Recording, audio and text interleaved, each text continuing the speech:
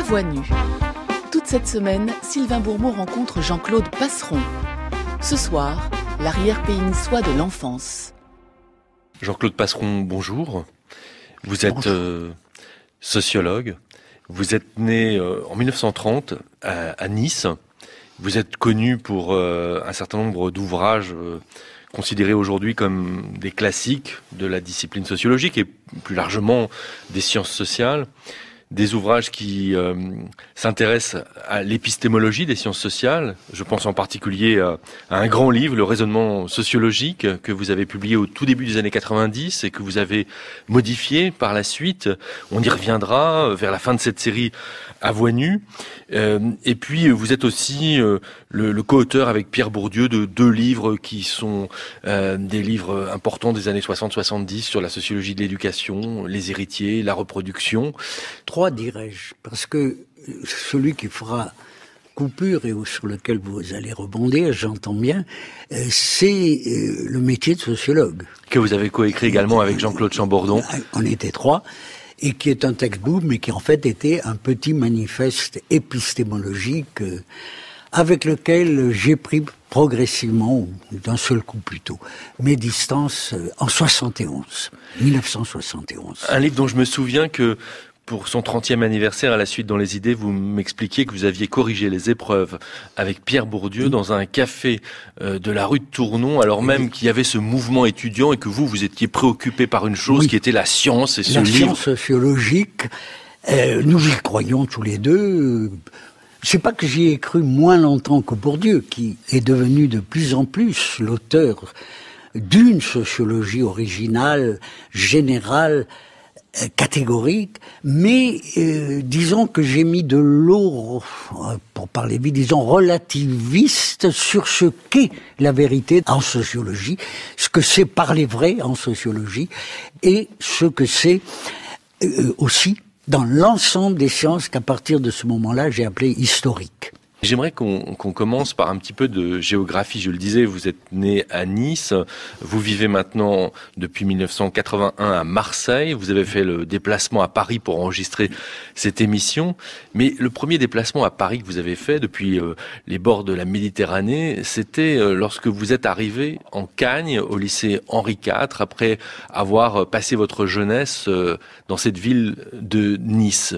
Qu'est-ce que c'était qu'arriver à Paris à eh la ben, fin des années 40 Paris, Sans remonter jusqu'à la description par Balzac de Paris et de la province, je venais du, du plus lointain, du plus long voyage en train, euh, d'une province française, les Alpes-Maritimes, euh, qui d'ailleurs ne, ne, sont définitivement dans l'espace français que, que depuis que depuis le rattachement de 1860, et donc euh, mon origine, euh, soit du côté italien, soit du côté provençal, euh, me rattache à cette région. D'où, pour la première fois, je me déplace pour entrer en Cagne à Paris en 1949-50, puisque j'avais, après un passage parfaitement acculturé au lycée de Nice, et donc les bacs avec les mentions qui, qui conviennent. J'avais, au lieu de partir à Lyon, comme on l'avait prévu, par prudence de ma, de ma mère surtout, qui s'occupait de mes études, institutrice, au lieu d'aller à Lyon, il se créait cette année-là une hippocagne, classe préparatoire à la cagne, à Nice. Et donc j'ai fait une hippocagne à Nice, et toujours là c'est pareil, on peut y revenir en quelques mots, pour l'heure, mes déplacements géographiques n'allaient jamais au-delà de Cannes, où étaient des proches parents, des familles de ma mère, du haut montagneux des Alpes-Maritimes, où était la famille euh, paysanne, pauvre, de montagne méditerranéenne, au-dessus de 1100 mètres. Et pour la première fois, me voilà dans le train, avec ma mère qui m'a accompagné, pour que j'entre à l'internat d'Henri IV. Je n'avais jamais été interne non plus. J'avais 17 ans. Et donc, c'est la première fois où j'ai vu défiler ces gares à cette époque, euh, qui étaient nombreuses, bien avant le TGV, où on s'arrête dans la nuit à, Cannes, puis à Toulon, puis euh, puis à Marseille, et puis et puis euh, en fait il y a le café à Dijon, on le prend sur les quais. Pour moi, c'était la découverte du mouvement géographique. Alors peut-être ensuite l'ai-je ai-je voulu l'accentuer en voyageant beaucoup. Donc vous êtes euh, originaire de, de, de, Nice, de, ce, de cette région, et, et, enraciné. Enfin, vous vous sentez méridional, euh, Jean-Claude euh, Passeron Oui, bah, ne serait-ce. Je suis pas le seul. Venn doit être pareil parce que nous nous sommes connus ensuite beaucoup à Henri IV et à l'école normale. Paul Venn. Paul Venn. Paul Venn aussi a dû faire de gros efforts, pas les mêmes, pour effacer, pour gommer l'accent méridional l'ouverture des hauts et tout ce qu'on veut. Et c'est pas la même chose qu'il faut corriger quand on est originaire de Nice. Moi, je dirais presque que c'est pire parce que l'accent en français, même en français méridionalisé de Nice, sans parler du Nissard que j'entends aussi, est, encore plus étrange pour un Français enfin plus risible pour parler vite, à, l'écoute euh, de l'intelligentsia parisienne, si on peut dire, à la différence de l'accent du sud-ouest, dont j'ai connu beaucoup de représentants, qui ne craignent pas. Et j'en ai connu dans toutes les institutions de haut niveau, soit scolaire, soit euh, politique, de perpétuer avec un certain orgueil leur accent du sud-ouest, euh, j'allais dire indépendant, enfin indépendantiste, il n'est plus depuis certaines croisades, mais l'accent du sud-ouest, outre chez certains présidents comme Vincent Auriol, euh, chez des anthropologues euh, euh, de mes amis, on le revendique.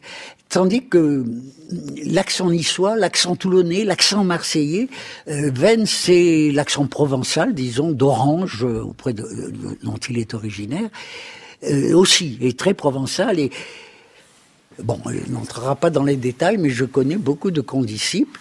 Pour prendre l'exemple d'un ami que j'ai croisé en Cagne, puis à Normal, qui faisait des lettres, des lettres de la littérature française, et précisément, d'origine très populaire, fils d'un salarié agricole et d'une mère sachant lire, son père ne le sachant pas, mais qui, évoluant dans le lycée puis vers la Cagne de Marseille, je crois, les répétitions pour le latin de sa mère qui ne le savait pas, mais étaient les questions étaient posées par son père. La mère avait le dictionnaire Gaffio entre les mains et le père, quand il, il lui a fait apprendre le gaffio par cœur, comme ça, ce qui est quand même un avantage pour faire des versions latines jusque très haut parlant, très haut situé. Et il lui tapait des coups de gaffio, disait-il, sur la tête quand il se trompait. Voilà un apprentissage euh, d'ascension sociale par l'école qui m'avait frappé, en liaison avec ces accents du Midi qui, quand vous arrivez à Paris, euh, moi, je l'avais effacé à Nice parce que j'avais eu une, un lycée, suivi un, un, lycée où les profs de lettres brillants, mais ayant vraiment l'accent parisien, étaient nommés à Nice, qui était assez recherché, et euh, voilà, avait un accent parfait. Et parmi les imitations, comme plus tard j'imiterai, euh, ayant été frappé euh, en Cagne par Beaufray, parlant de la philosophie, que j'imiterai assez facilement dans mes premières, dans le ton, l'accent suprasegmentique de Beaufray que j'imiterai dans mes premiers enseignements. Euh, de même, j'imitais le parler serré de mes profs de français au lycée de Nice. Et donc, euh, j'ai l'impression d'avoir travaillé très tôt à, le gommer. Vous parliez, euh, Jean-Claude Passeron, de, de ce condisciple dont, dont, les parents ont appris le latin par une division du travail entre le mère et la, mère et le père, et puis les coups de gaffio. Que, vous disiez tout à l'heure euh, que votre mère vous a accompagné en Cagne, que c'est elle, institutrice, qui s'occupait de vos, vos études. Comment ça se passait chez vous? Voilà, ben, on peut partir de là, puisque l'endroit d'où l'on vient, comme dit Hogarth, home, d'où je suis sorti. Enfin, ça commence à l'embryologie, dit-on aujourd'hui, donc euh, du ventre de ma mère, mais ensuite je suis dans une situation un peu particulière, ce qui me fait toujours hésiter, au sens des catégories de la sociologie, si je dis que je suis d'origine populaire ou paysanne ou petite bourgeoise. Donc ma mère, institutrice euh, des anciennes promotions, puisqu'elle est, est née en 1902, et a failli vivre un siècle, elle est morte avant ses 100 ans, à Marseille, où elle m'avait suivi finalement, quand euh, j'ai pris un poste de prof de philo. Ma mère était de cette génération féminine, mais qu'on peut appeler encore les hussards noirs de la République. Une école normale d'instituteurs à Nice, alors qu'elle était originaire de Valoris, Golfe-Jouan, de l'autre côté du Var, et qu'elle était d'origine populaire, artisanale, mais elle, ayant franchi cette ascension sociale brillamment, en sorte qu'elle elle a même regretté, quand après l'école normale, en s'apercevant qu'il aurait suffi qu'elle fasse... Alors elle a essayé même de faire du latin par correspondance pour passer le bac. Et donc, euh, mais elle a dû abandonner, étant nommée difficilement d'ailleurs, après la guerre de 14, dans un poste de très haute montagne. Et quand euh, l'année d'après, elle arrive à un poste de moins haute montagne, qui elle rencontre mon père, euh, jeune fils de paysan, mais de paysan aubergiste de ce village, qui rentrait lui-même de faire un service militaire en Algérie, mais en 1929, et donc dans son uniforme de zouave, je crois, qui, qui, figurait dans les couloirs de l'hôtel, etc., avait un grand, un certain prestige, mais qui n'a eu, qui, qui, a fait la cour à ma mère dans l'école en face, euh, pendant les récréations, et comme ils se sont mariés, dans une euh, configuration qui où elle était plus âgée de 4 ans mon père, ce qui surtout dans ces milieux populaires est rare ici. Elle était évidemment institutrice alors qu'il n'avait que le certificat d'études. Et euh, ensuite, par le grand-père qui est aubergiste et paysan, mais un peu mon grand-père Justin Passeron, qui était euh, un peu agent électoral à l'époque, là, dans cet hôtel, euh, cet hôtel auberge, qui avait des relations et donc, il a placé, outre mon père, euh, tous les, enfants, les enfants de l'assistance. C'était très désintéressé. C'est un circuit de recommandation qui doit être euh, fréquent bien ailleurs dans le Midi, mais dans le Sud-Ouest aussi, je connais des villages comme ça où on entrait dans les PTT. Mon père, c'était auprès des corps officiels où il garantissait qu'un tel pour les pompiers de Monaco, un tel pour les carabiniers de Monaco, mais tel autre pour euh, les tramways, etc. Et comme mon père avait le certificat d'études, il le fait recruter comme employé de banque au Crédit Lyonnais, parce qu'il s'est marié. Donc, euh, ça sera dans cet exode rural des années 30 où je nais, il s'établit à Nice. Et dans tout ce qu'il m'a toujours raconté, c'est enfin on ne se gèle pas l'hiver, parce que c'est le froid dans ces, surtout villages de haute montagne, où il n'y a pas de chauffage dans les chambres, où il y a tout simplement une cheminée, un poêle en bas pour les clients euh, de l'auberge, et une cuisine euh, qui est un feu de, un feu de cheminée. Et donc, euh, voilà, il était content d'être dans ce climat, et il a toujours été heureux de faire une carrière d'employé de, banque au Crédit Lyonnais, où il a fini par aboutir étant donné son zèle et sa bonne connaissance euh, du calcul qui, se faisait à la main, euh, de caissier depuis la vieille ville jusqu'à caissier principal de l'agence au centre de Nice, où il a pris sa retraite, mais se retirant dans ce village à Scros où euh, il avait gardé, on a dans le partage gardé, il a tenu à garder un morceau de jardin irrigable, outre un petit logement dans une partie de l'hôtel auberge. Voilà pourquoi, à toutes sortes d'occasions, dès mon plus jeune âge, j'ai été dans ce village, à l'occasion soit très jeune et avant même l'école, de primo-infection qu'on ne guérissait pas. Et, donc, j'allais prendre le bon air à la montagne, j'ai passé des mois, et voilà pourquoi mon acculturation, pour aller vite, est double. Le village et le quartier populaire où enseignait ma mère à Nice, suivant les saisons. Et quand j'étais malade, j'étais à la montagne.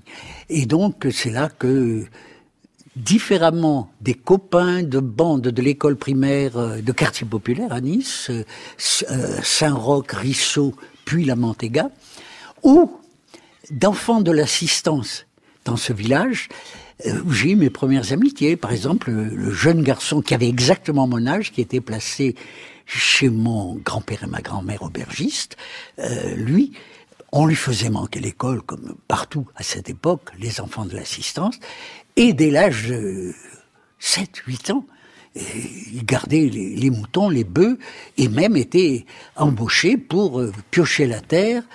Et donc, euh, le soir, devant cette cheminée, c'était mon premier ami qui m'expliquait comment c'était là. Et moi, je lui expliquais comment c'était à la ville. Et, ça se recoupait pas tout à fait. Quel genre d'élève étiez-vous, Jean-Claude Passeron? Ben, C'est là qu'il faut euh, parler de ma mère. Je ne sais pas comment ça a commencé.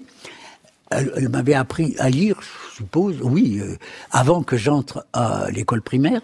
Je lisais à peu près couramment. Donc j'ai fait des études moyennes bonnes à l'école primaire, en changeant d'école plusieurs fois, selon les postes de ma mère, mais progressivement, en aboutissant à la classe du certificat d'études, euh, en devenant très bon.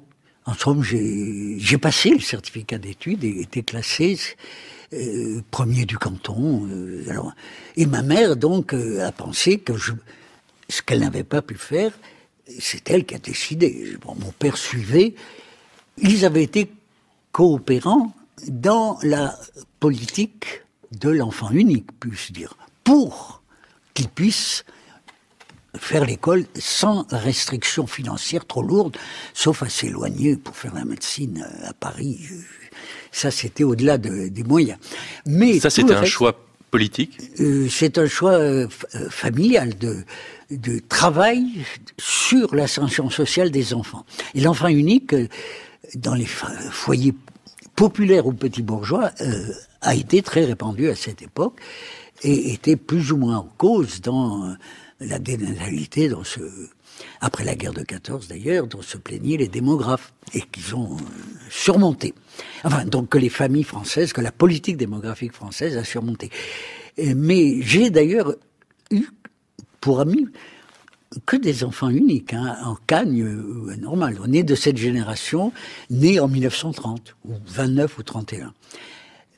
donc, euh, à cette époque, c'est ma mère qui a, cessé, en somme, de, Regardez de trop près mes carnets de notes à partir de la quatrième, où la première coupure, c'est que j'ai tenu à faire du grec. Euh, alors qu'elle allait aller jusqu'au latin. Ça, il fallait que je l'apprenne pour entrer en sixième. Et donc, je passais un examen d'entrée en sixième.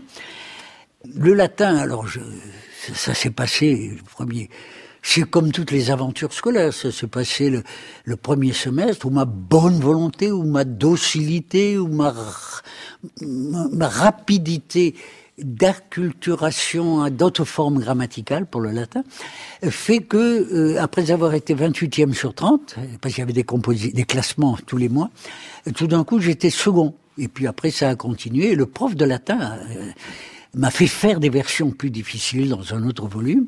Et donc j'arrive en, cinquième, où je vois par-dessus l'époque l'épaule, parce que je restais en étude pour bien travailler, d'un condisciple qui faisait du grec en, dans la section A, en quatrième, et je vois un alphabet différent, exotique. Pour moi, c'est un choc. C'est un choc de curiosité et de passion que que j'ai toujours de la peine en tant que sociologue maintenant à expliquer. Parce que comment faire le, le partage entre les raisons d'admiration exotique, de curiosité, de, lire un alphabet, ça aurait été la même chose peut-être pour l'alphabet cyrillique, mais cet alphabet des Grecs sur du beau papier glacé, parce que les manuels de cette époque en grec les manuels de grec du lycée sont sur du papier glacé avec cette typographie qui ressort admirablement. Euh, j'ajouterais sous le soleil. J'étais au parc impérial, un lycée annexe, euh, plus bourgeois si on peut dire, puisqu'il est sur les hauteurs. Il y a plein de villas et de, médecins dont les fils faisaient du grec. Et euh, j'ai eu ce choc pour le grec à cause de, des graphèmes et je ne savais pas le prononcer. Mais en même temps, je sais bien que c'était un truc que je disais à ma mère, non, je peux pas. Si c'est pas français, latin, grec, je passerai jamais l'agrégation. Or, c'est là que je me suis rendu compte qu'elle n'avait jamais vraiment pensé à l'agrégation, mais, je sais pas, euh, un poste intermédiaire au-dessus. Et qu'elle a résisté en me disant, tu es sûr, ah ben, on verra bien. Ça, ça voulait dire que vous aviez Alors, déjà envie d'être enseignant. Voilà, c'est ça. Mais à quoi remonte cette vocation euh, En même temps, c'était euh, un coup de foudre littéraire. Et j'ai toujours aimé le grec, et je ne sais pas pour lesquelles de ces deux raisons. Et ensuite, euh, c'est plutôt en grec qu'en latin que j'ai effectivement euh, eu des résultats, euh, par exemple au concours général, alors que en latin, je, bon, je, ça m'a jamais passionné. Et ça a continué ensuite à travers ma préférence pour Platon plutôt que pour la prose de Cicéron quand j'étais en Cagne et dans ce que j'ai lu. Mais vous seriez capable de, aujourd'hui, définir le, le, moment où vous avez commencé à, à vous imaginer enseignant ou c'est quelque chose qui finalement s'est imposé naturellement Je savais que j'étais condamné à être enseignant. Et c'est pas la médecine. Enfin, dans l'ascension sociale, ça n'était pas aller à Marseille ou à Montpellier ou à Paris pour faire la médecine. C'était sans conversation explicite avec mes parents, mais autour de moi, ceux qui se débrouillaient le mieux, enfants d'instituteurs ou d'institutrices, c'était euh, dès lors qu'on n'était pas scientifique, où il y avait des classes de préparation à Polytechnique ou à Saint-Cyr, euh, dès lors que c'était pas ça, euh, c'était l'enseignement secondaire, donc l'agrégation. Et je savais assez tôt que je voyais mes profs être profs de français, latin, grec. Quelle place à côté de ce travail scolaire, euh, cette compétition scolaire même, puisque vous parliez de classement, quelle place pour les lectures de plaisir ah bah, C'était les, les, lectures de versions de textes latins, de textes grecs, ont très vite cessé la place à un désir, enfin, une curiosité de lecture hors programme. D'abord parce que je trouvais dans la bibliothèque à la cave, qui avait été celle de mon grand-père, euh, père de ma mère, autodidacte, libre penseur, de la bibliothèque universelle, euh, vous pouvez lire des choses qui n'étaient pas au programme. C'est ça qui me plaisait.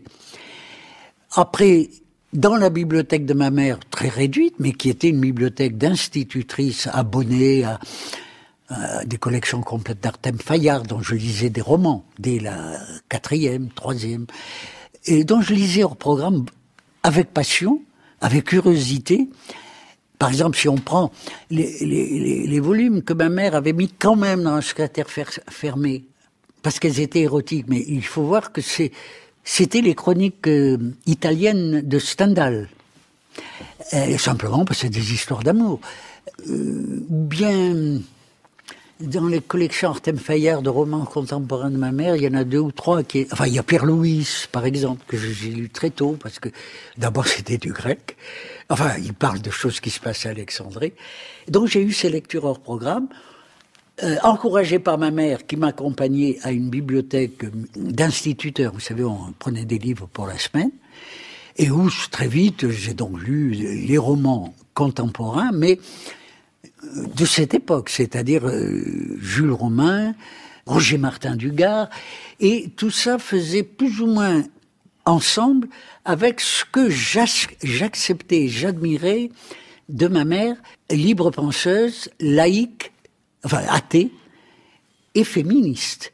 Parce que je me souviens de ces conversations familiales en milieu tout petit bourgeois d'artisans ou dans le village d'hommes euh, se disputant en politique, les uns euh, pour le notable local qui était médecin, maire de Nice, les autres communistes déjà, avant 39, dans le communisme municipal à la campagne, qui commençait à avoir des élus, et ma mère intervenait de haut. C'est-à-dire qu'elle disait, mais non, c'est pas ça la politique. Elle, elle, écoutait Léon Blum à la radio. C'était, c'est là que le Front Populaire a été mon premier contact avec euh, la vie politique, puisque autour de moi, j'ai vu comment ça révolutionnait les deux sœurs jumelles de ma mère, mon père à la banque, les occupations, le Front populaire, les défilés, les défilés. Et donc voilà ces influences mêlées de ma socialisation. La guerre. Jean Alors euh, la guerre, euh, oui, la guerre. Euh, je viens, je, je viens de rentrer à l'école primaire. Il y a eu 38, 39 après le Front populaire. Là, je, je me souviens encore. Donc, il n'y avait que la radio, mais euh, pour la famille, ma mère euh, commenter le bulletin d'information. Mais quand je demandais, parce qu'il y avait la guerre civile en Espagne, les républicains et les nationalistes, c'est quoi me dit oh ça je t'expliquerai, c'est trop compliqué la guerre d'Espagne. Mais euh, elle était toujours un interprète, restée de gauche, elle est restée pendant euh, le vichisme. Son, sa, ténacité a consisté à refuser d'afficher à l'école primaire où elle enseignait le portrait du maréchal Pétain, mais j'ai trouvé confronté, je pense à des choix dont je n'ai eu qu'après la libération la clé, c'est comment se comporter quand en 43, mon père qui était employé au Crédit Lyonnais, tout d'un coup est requis pour le STO en Allemagne. À cette époque, j'ai vu que c'était des discussions inlassables et tendues, et c'est à la libération seulement que ma mère dit quand même, hein, heureusement, que au dernier moment, le Crédit Lyonnais a sauvé ses employés. C'était une banque, je ne sais comment, par rapport à, la réquisition allemande. Et mon père qui avait fait sa valise disait eh tu serais allé quand même parce qu'elle a dû plaider tu te comprends moi je vais rester là on est occupé d'abord par les Italiens mais après par les Allemands et puis tu vas être un réfractaire et mon père disait non je, il me dit, j'ai toujours pensé, je fais la valise, je réfléchis, mais je ne partirai pas. Et tu vas où disait ma mère. Tout ça, c'est des conversations d'après la libération. Pouvait me dire, ah ben, j'irai chez mon père et ma mère. à la campagne, il y a un petit pigeonnier dans la montagne, ma mère m'apportera mes repas, moi je me cacherai là. Comme on dit en patois, s'escondre comme disaient les vieilles gens du village, pour dire, ben, quand ils reçoivent l'ordre de réquisition, les jeunes gens n'ont qu'à d'aller se cacher. Ça a été une des bases du recrutement des premiers maquis FTP. Bonjour Jean-Claude Patron. Nous avions commencé cet entretien à voix nue par votre long voyage en train qui vous a mené à Paris pour l'année scolaire 49-50 où vous entrez en Cagne au lycée Henri IV. Puis après, on l'a redéroulé sur votre enfance niçoise. Alors, revenons à cette année scolaire 49-50. Vous arrivez dans ce grand lycée euh, parisien. J'imagine que ne serait-ce que le, décorum, la situation, le, la, façon de travailler, tout ça euh, change totalement par rapport à, votre environnement niçois qui est celui que vous avez connu, même si vous avez changé souvent d'école depuis l'enfance, depuis le... Et surtout au lycée, euh, que j'ai prolongé à Nippocagne à Nice, j'arrive à Paris où ce sont tous des nouveaux copains. Et euh, je ne fais qu'une année, donc euh, j'entre en caresse, c'est-à-dire à mon premier concours, et c'était le cas aussi d'un des amis que je rencontre à l'école, c'est Jean Molino, qui, comme moi, venait de province, de Montpellier, et euh, était entré la première année. Vous rentrez à l'école normale supérieure après une année de Cagne simplement. Voilà. Et, les, les, autres amis de la Cagne, euh, Metz, Christian Metz, euh, filmologue, euh, Paul Venn, historien bien sûr, euh, euh, ou Gérard Genette, qui lui avait été envoyé à une posture à Sceaux, qui sont mes meilleurs amis, qui, l'ont été dès le début de l'école, entre l'année suivante. Ne serait-ce, soit dit au passage, ma canne, c'est la première fois où je rencontre la concurrence, parce qu'il y a des concours blancs. Et c'est là que je me rassure, mais à peine, euh, en faisant une dissertation pour Beaufray, qui me dit, mais voilà, qui m'encourage, euh, parce que j'avais fait des plaisanteries en grec dans cette disserte de philo sur la dialectique platonicienne, si je me souviens bien. Et le reste, il y avait une forte concurrence. Et donc, euh, mes amis proches, Christian Metz dans cette canne, qui était hum, responsable, enfin sec, de cette canne. Euh, Even qui arrivait de Marseille, euh, on décide de s'extraire d'Henri IV quelques semaines avant le concours pour aller travailler puisque c'est une question de mémoire, faut pas se tromper sur dans la dissert. Il y avait dissert d'histoire, dissert de littérature et dissert de philosophie. Et donc pour réviser l'histoire, qui il y a des questions au programme, des époques. Enfin, on avait trouvé qu'il fallait tout savoir plein de choses par cœur et qu'après on tartinait comme on voulait et ça donnait la moyenne largement. Et donc, on voulait apprendre par cœur la liste des papes, ce que tout le monde. Et donc, pour se faire réciter ça, on a quitté Henri IV, on a pris une chambre en face des Folies Bergères, la, boule rouge. Et voilà, on a appris des choses par cœur en rigolant. Mais ils se sont découragés, enfin parce que le père de Metz, qui était quand même prof de faculté, euh, est venu le chercher. Le père de Vennes, euh, c'est pareil, enfin Vennes, euh, qui ne s'était pas présenté la première fois pour réserver ses chances, la deuxième fois aussi, il a eu la trouille. Enfin, et, tandis que moi, j'y suis allé comme ça, et eux sont repartis en province et ne sont entrés que l'année d'après. Et moi, j'entre à, Normal, où je, Molino, puis après les amis me rejoignent, et voilà la base euh, de mes fréquentations à l'école. Mais on est resté au, lycée, euh, vous étiez fasciné par euh, cet alphabet grec qui vous a donné envie de, de, vous y intéresser. Pourquoi le choix de la philosophie? À cause du grec ou À cause du prof de philo. Vieux bonhomme à cette époque, c'était avant Beaufray, qui sera le second maître de philosophie. Euh, avant Althusser, qui sera le troisième, si on peut dire, dans, dans un rôle explicitement d'enseignant. Euh, un vieux bonhomme. Euh, à Nice, celui-là. À Nice, il file aux lettres.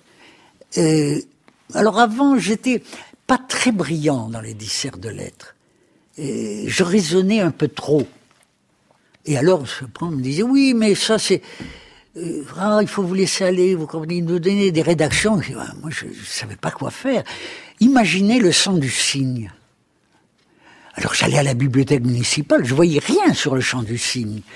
Et, donc la disserte littéraire, par un prof brillant, euh, m'inquiétait parfois si je pouvais pas raisonner sur les hommes tels qu'ils sont, tels qu'ils devraient être. Euh, ça, ça allait. Euh, donc, malgré mes lectures, et malgré mon penchant pour la poésie du 19e siècle, à cette époque c'était une anthologie des poètes du 19e siècle, en première, mais c'était pas encore si ça devait être le premier contact avec ah après Rimbaud il y a quand même le surréalisme. Donc j'avais euh, mais c'était pas ma performance scolaire. Et je découvre en philo que ce professeur monsieur Fouassier euh, me note au-dessus de tout et au-dessus des autres. Et donc, je suis premier dans cette philolette, comme je l'avais été avant en prise d'excellence, mais en mêlant des notes et des concurrences euh, avec un fils de grand bourgeois parisien qui est devenu médecin et même euh, plutôt euh, directeur d'un grand laboratoire pharmaceutique et qui faisait du grec que j'avais connu. Mais euh, au lycée, c'est en philo que je découvre que je découvre que ça, je peux assez facilement. J'écoutais et, je, je grattais plus longuement que les autres dans un français déjà à cause de mes lectures de mes lectures qui allaient en philo-lettres, euh, jusqu'à, il y a un programme assez composite, il y a la sociologie, la psychologie, ça allait jusqu'à Durkheim, donc je, pratiquais la langue d'idées, je pratiquais un peu l'apprenant la langue des, des philosophes, des métaphysiciens, de Descartes, et surtout de Spinoza, qui m'emballe dès cette époque, et ça continue en Cannes. Donc c'est la philo, euh, où je réussis. Je pense que c'est ça le critère. Vous réussissez au point que, un peu plus tard, vous, vous, vous serez premier à l'agrégation de philosophie. Oui, oui. Mais euh, non sans. Alors là, je vous ai dit que comment s'encagne la concurrence, que j'arrive à l'école avec une assez bonne note, mais pas euh, la très bonne note que m'avait donnée Beaufray en Cannes, et parce que avec Molino, nous avions cambriolé à l'école, c'était une salle fermée, ouvrable avec une fausse clé facilement, la salle où sont étaient entreposées toutes les copies d'examen. Donc, nous avons soigneusement, après ça m'a servi pour la sociologie, si on peut dire, ou la docimologie, et regarder les corrections au concours d'entrée à l'école. La dissert de philo, la dissert... Et donc, je me souviens qu'on avait été corrigé par Merleau-Ponty, et Jean Kelevitch, Merleau-Ponty euh, approuvé parce que j'avais subi, euh, donc je parlais un peu le langage euh, euh, parisien de l'époque, pas phénoménologique, mais quand même enseigné par Beaufray quand il enseignait l'histoire de la philo.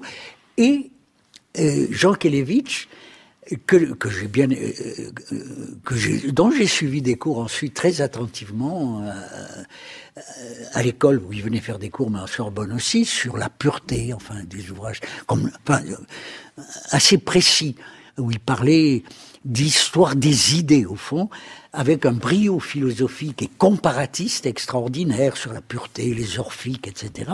Chose qui ensuite m'ont servi dans toutes sortes de concours. Et, donc Jean Kelevitch, lui, m'avait mis une assez basse note avec des points d'exclamation parce que je parlais du statut euh, du sujet transcendantal. Et alors ces statuts qui lui plaisaient pas parce que ça faisait partie des de l'idiome qui se parlait à Paris euh, sur les circuits euh, heideggeriens, euh, phénoménologiques, etc. Donc il mettait un point d'interrogation. Et la troisième fois où je disais statut, parce qu'on insiste à cet âge-là, il mettait un point d'interrogation. Bientôt vous me parlerez du statut des Juifs par Vichy. Vous Donc, on le sait que Jean Kelevitch avait très mal digéré dans son, sa connaissance, son amour de la langue allemande et de la musique allemande, la Shoah. Enfin, son père en particulier disparu et que, à cette époque, il continue à dire qu'il ne voulait pas lire tel ou tel auteur allemand. C'était quoi votre rapport à, cette compétition scolaire au moment de passer l'agrégation? Est-ce que vous y croyiez encore ou est-ce que vous le preniez comme un jeu? Magiquement, oui, j'y croyais. J'y croyais parce que jusque-là, j'avais pas eu d'échec. Et j'entre à l'école, en carré, euh, dans un rang minable, enfin, avant le 30e quand même, puisqu'il y avait 30 entrants en lettres. Et après, il y a 30 entrants en sciences. Je, pense que les nombres ont dû changer. En plus, il y a eu la fusion des concours masculins et féminins. Mais euh, voilà, j'étais philosophe et je découvre Althusser à l'école. Troisième prof de philo. troisième prof de, troisième maître. Je pense que pourquoi étant c'est comme Fabiani dit maître à propos de Bourdieu de moi. Je sais pas pourquoi ce type qui je pensais Oh, il n'est pas seulement normalien, il vient du secondaire, hein, ou de la lecture de la philo. Et en plus, moi, j'ai commencé à m'intéresser bien sûr à la pensée chinoise. Alors là, malgré l'exotisme, j'ai pas réussi à apprendre vraiment les caractères chinois, bien que j'ai un peu essayé pour lire en traduction euh, des textes, non pas de philosophie, mais des textes historiques, gnomiques et des classiques chinois.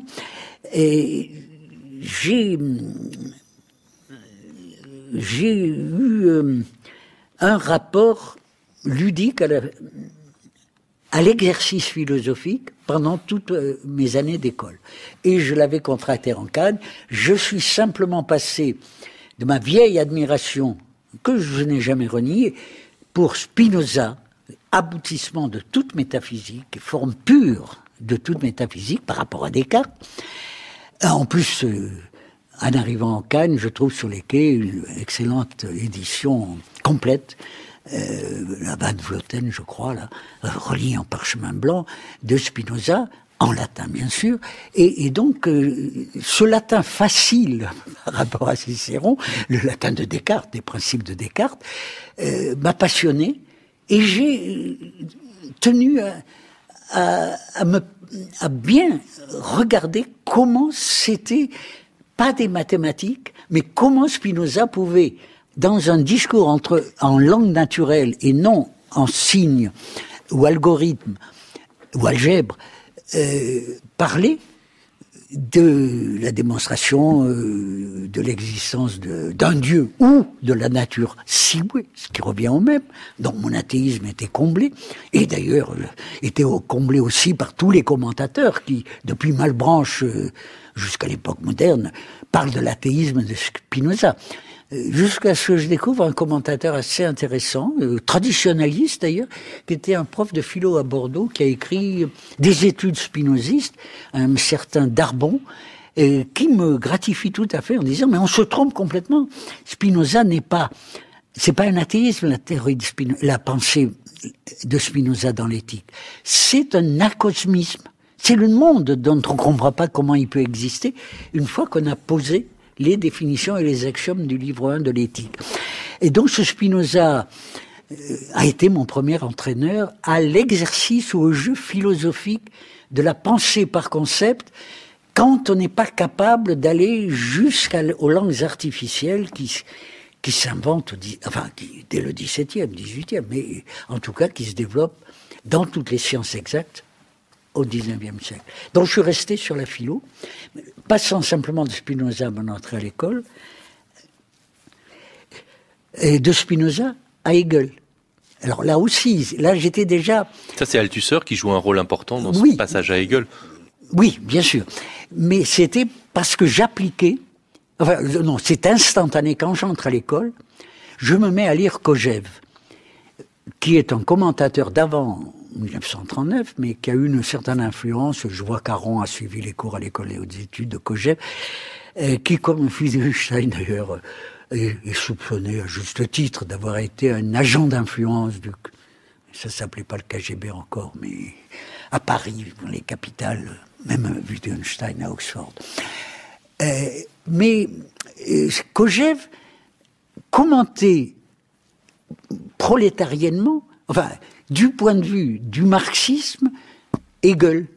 Et donc je trouvais que dans la langue hegelienne, commentée par Kojève, la dialectique du maître et de l'esclave, ça, ça me suffisait pour me sentir non peut-être pas marxiste, parce que j'ai eu très tôt des objections scientistes, au fond, à, ce que ça a d'utopique, de, de nomologique comme loi de la philosophie de l'histoire, où il n'y en a pas quand même, ni de progrès indéfini, ni de courbes prolongeables, comme on l'a bien vu par la suite. Mais Hegel, c'était une première tocade qui n'a duré qu'un court moment. Et c'est là que Althusser, déjà, expliquant, mais plutôt dans des conversations privées. Ces cours, et ces entraînements à l'agrégation de philo nous faisaient parcourir des philosophes classiques. Moi, j'ai dû faire un exposé sur Spinoza et j'allais en faire un autre sur... Ah oui, si j'en ai fait un autre sur l'esthétique de Hegel, que j'ai lu donc dès mon entrée. Et, c'est celui-là qui m'a valu un dossier militaire après mon service militaire, parce que les affiches je l'ai su par un officier du deuxième bureau quand rentré à l'école militaire préparatoire du, Mans, euh, Mans et sur le point d'être libéré, je suis convoqué. Mon dossier m'avait enfin rejoint alors qu'il m'avait pas rejoint en, Algérie, il valait mieux.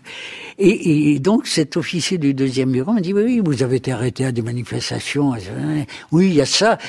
Et puis alors, qu'est-ce que c'est ce truc? Je vois que vous faisiez des leçons marx.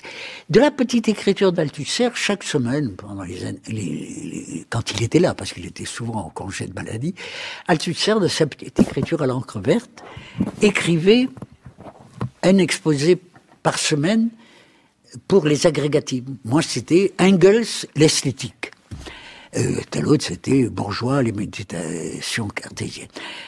Et il me dit, bah, vous avez fait je vois dans le dossier que visiblement, euh, celui qui l'a dépouillé, alors je ne sais pas à quel niveau ça se passe de la police ou des choses recueillies sur les normaliens vers le système de sécurité des armées, à cette époque, il n'était pas très efficace, euh, c'était, ils ont confondu Engels et Hegel. Hegel, oui. L'esthétique de, euh, non, l'esthétique de Hegel, non, c'est pas Engels le copain de Marx. Bon, et donc on en rit ensemble, c'était un officier du deuxième bureau, puisque j'allais être libéré, qui voulait avoir surtout des renseignements sur euh, l'état d'esprit de la troupe en Algérie, sur euh, les généraux Pucci, enfin sur les gaullistes. On était avant le, le 18 mai.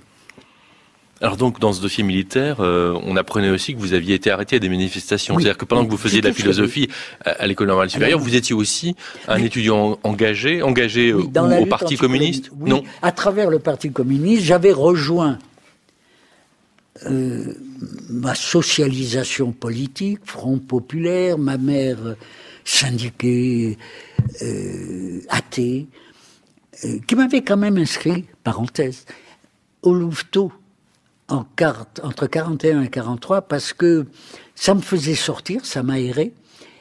Et deuxièmement, ça donnait une tablette de chocolat plus 50 grammes de pain euh, au goûter.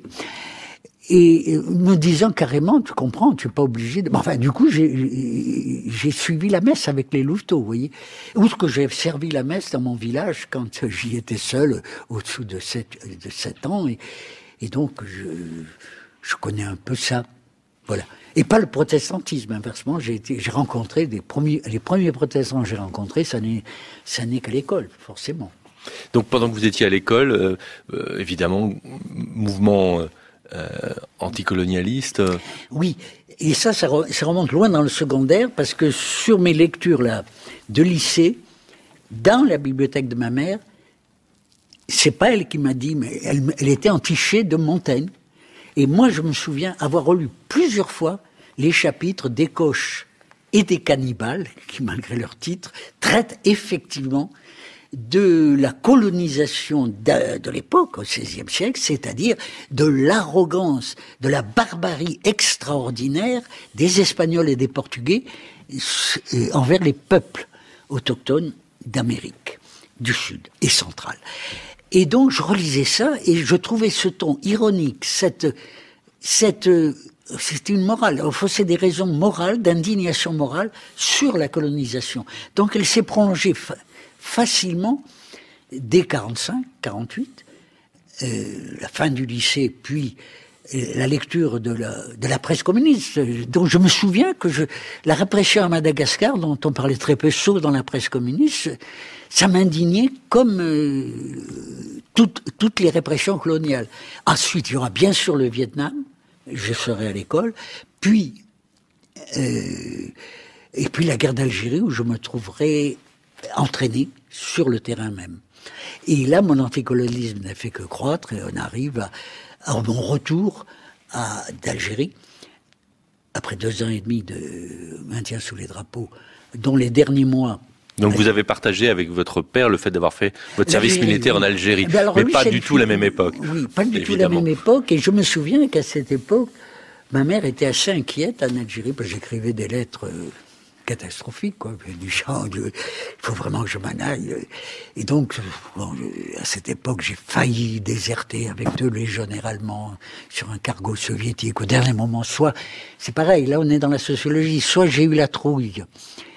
Euh, car la désertion, c'était pire que l'insoumission, soit ma défiance envers ce que pouvait faire un cargo, un capitaine de cargo soviétique venant décharger du liège dans le port de Djidjili, fait qu'au dernier moment, euh, je prenais des bières, euh, enfin arrosées de rhum le matin avec ces deux légionnaires qui s'étaient engagés, allemands, probablement anciens SS puisqu'il s'était à la libération engagé pour fuir, euh, pour faire, pour se, se, faire blanchir par l'armée française, et dont euh, étant prisonnier, et donc qui avait atteint la limite de leur engagement et qui avait été réengagé en se faisant saouler par hasard, et donc euh, qui, qui voulait déserter. Et comme j'avais des dollars que m'envoyait un Américain pour que je fasse pour lui un PhD un vieil américain autodidacte qui s'était adressé à l'école. Althusser me l'avait envoyé. Alors je lui ai des pages. Il faisait une thèse sur la disponibilité chez Gide, que je n'aimais pas particulièrement. Comme j'avais une machine à écrire, je lui ai envoyé des pages à partir de, du secrétariat du colonel, là. Donc vous étiez ghostwriter, comme on dit, euh, euh, oui, euh, en quelque oui, sorte. Mais je pense que c'était pour l'aider. Mais en fait, il avait dû les présenter parce qu'après, il m'a envoyé des objets. Ils m'ont dit, mais alors, comment est-ce que, d'où est-ce que vous tirez cette idée que la disponibilité? Et là, il m'a dit, mais comment je dois répondre? Donc c'était quelqu'un qui était un peu torturé par son jury de PhD. J'avais des dollars, je les ai donnés aux Allemands. Au dernier moment, j'ai dit non, moi, je n'y vais pas. et ils se sont fait prendre. Ah, donc euh, le lendemain, il n'y avait plus de preuves que j'ai eu tort ou pas dans mon anticipation du c'était prendre un risque. Bon, après, même chose quand j'ai essayé euh, de faire euh, s'évader de malheureux prisonniers. J'étais de garde à la porte de la citadelle, Cabenne, et les légionnaires, pour que viennent les prendre après minuit, la nuit, pour que viennent les prendre les GMR qui les amenaient. Ils étaient avec leur miche de pain là les autres dormaient à point fermé. Et c'était pas supportable. Ils avaient été déjà pas mal amochés. Et on leur avait dit, euh, tu vas faire la corvée de bois avec les gemmes. Ils avaient une trouille incroyable. Et donc, quand, je sais pas pourquoi j'ai eu ce courage, j'en ai reparlé plus tard euh, de ce passage à l'acte avec euh, quelqu'un qui avait été qui a été célèbre, si je puis dire, qui a déserté à cette époque en Algérie et qui est passé au FLN en donnant sa mitraillette aux prisonniers qu'il était chargé de garder la nuit. Et comme je l'ai revu beaucoup après, après les amnisties et tout ça, euh, bah, c'était un chrétien, euh, j'oublie son nom à l'instant, euh, j'ai longuement parlé avec lui, parce que moi aussi je m'interrogeais sur ce truc euh, qui est insupportable, et c'est pas politiquement en fait, c'est bien moralement émotivement, c'est-à-dire deux gars qui allaient être exécutés. Et alors, il y a une certaine audace euh, je vois que les gens disent que celui qui est, complètement ivre, qui était un, sergent-chef euh, dégradé en première classe pour euh, qui dormait fermer, il y a un moment où ils sont là dans ce poste de garde où moi je hein, et j'ai relevé la sentinelle qui est allée pioncer. Et je leur dis barrez-vous. J'ai même pas, enfin, j'ai pas, j'avais pas de version de rattrapage.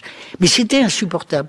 Et là, ce qu'il était, enfin, ce qui est une expérience euh, qui m'a marqué, c'est qu'ils n'ont pas pu me croire. Ils me regardaient dans les yeux.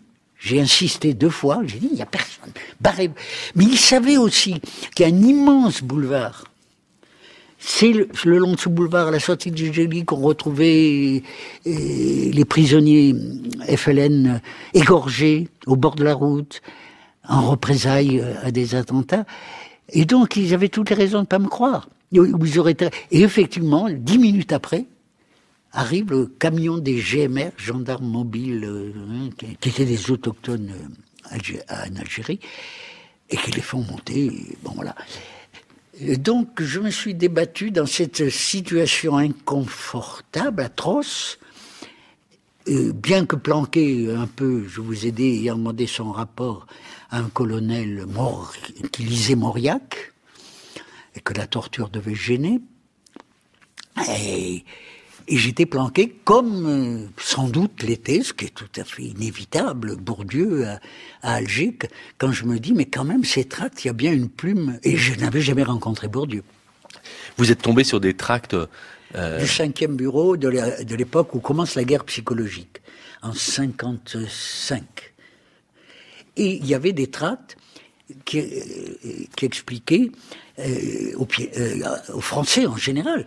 Euh, mais enfin, là, c'était pour dédouaner, c'était pour désabuser des lectures du, du Nouvel Obs, des lectures de gauche, des premiers articles qui paraissaient sur la torture, les, les Français. Et donc, il y avait l'argument emprunté à Bachelard, sans le nom, dire que les, les, les, pieds noirs sont tous des colons, c'est faux. Ça n'est qu'une idée trop simple.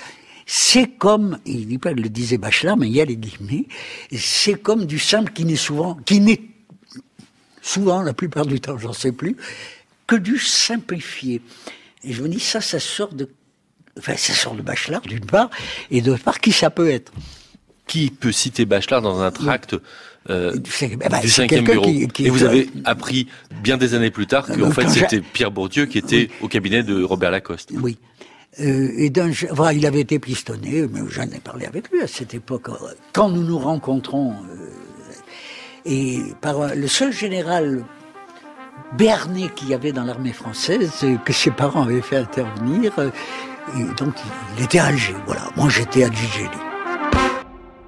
Bonjour Jean-Claude Passeron. Hier, euh, nous nous sommes quittés euh, au moment où vous étiez euh, en Algérie. Vous découvriez un tract du, du, cinquième bureau dans lequel vous avez relevé une phrase qui n'était pas attribué, mais une phrase de, de, Bachelard, et vous demandiez qui pouvait bien euh, citer Bachelard dans un tract de propagande de l'armée française, et puis il vous faudra des années pour comprendre qu'en fait euh, mm. c'était un certain euh, Pierre Bourdieu qui travaillait au, au, gouvernement d'Alger, aux côtés de Robert Lacoste, lui aussi appelé en Algérie. Ce Pierre Bourdieu, qui lui aussi vient du sud de la France, mais du sud-ouest, qui euh, lui aussi est passé par euh, l'école normale supérieure euh, et une cagne à Paris avant avant ça, que vous ne connaissez pas à Louis le Grand. à Louis le Grand et que vous ne connaissez pas encore. Vous allez le rencontrer pour la première fois dans un lieu qui sera associé au parcours de Bourdieu, mais bien plus tard, la, la gare de Lyon. Alors sans, sans, doute ceux qui ont découvert Pierre Bourdieu beaucoup plus tard se rappellent d'un Pierre Bourdieu à la gare de Lyon ah, dans un discours syndical. Ça, on parle de 1995. Vous, c'était bien plus tôt que vous avez croisé Pierre Bourdieu, gare de Lyon, Jean-Claude Passeron. Effectivement, c'est en 1961, un peu avant la rentrée universitaire, qu'ayant été appelé par euh, à Rome, enfin par son secrétariat, puis j'avais à Rome, sur une conciergerie de lycée, il me propose de devenir assistant euh, de sociologie.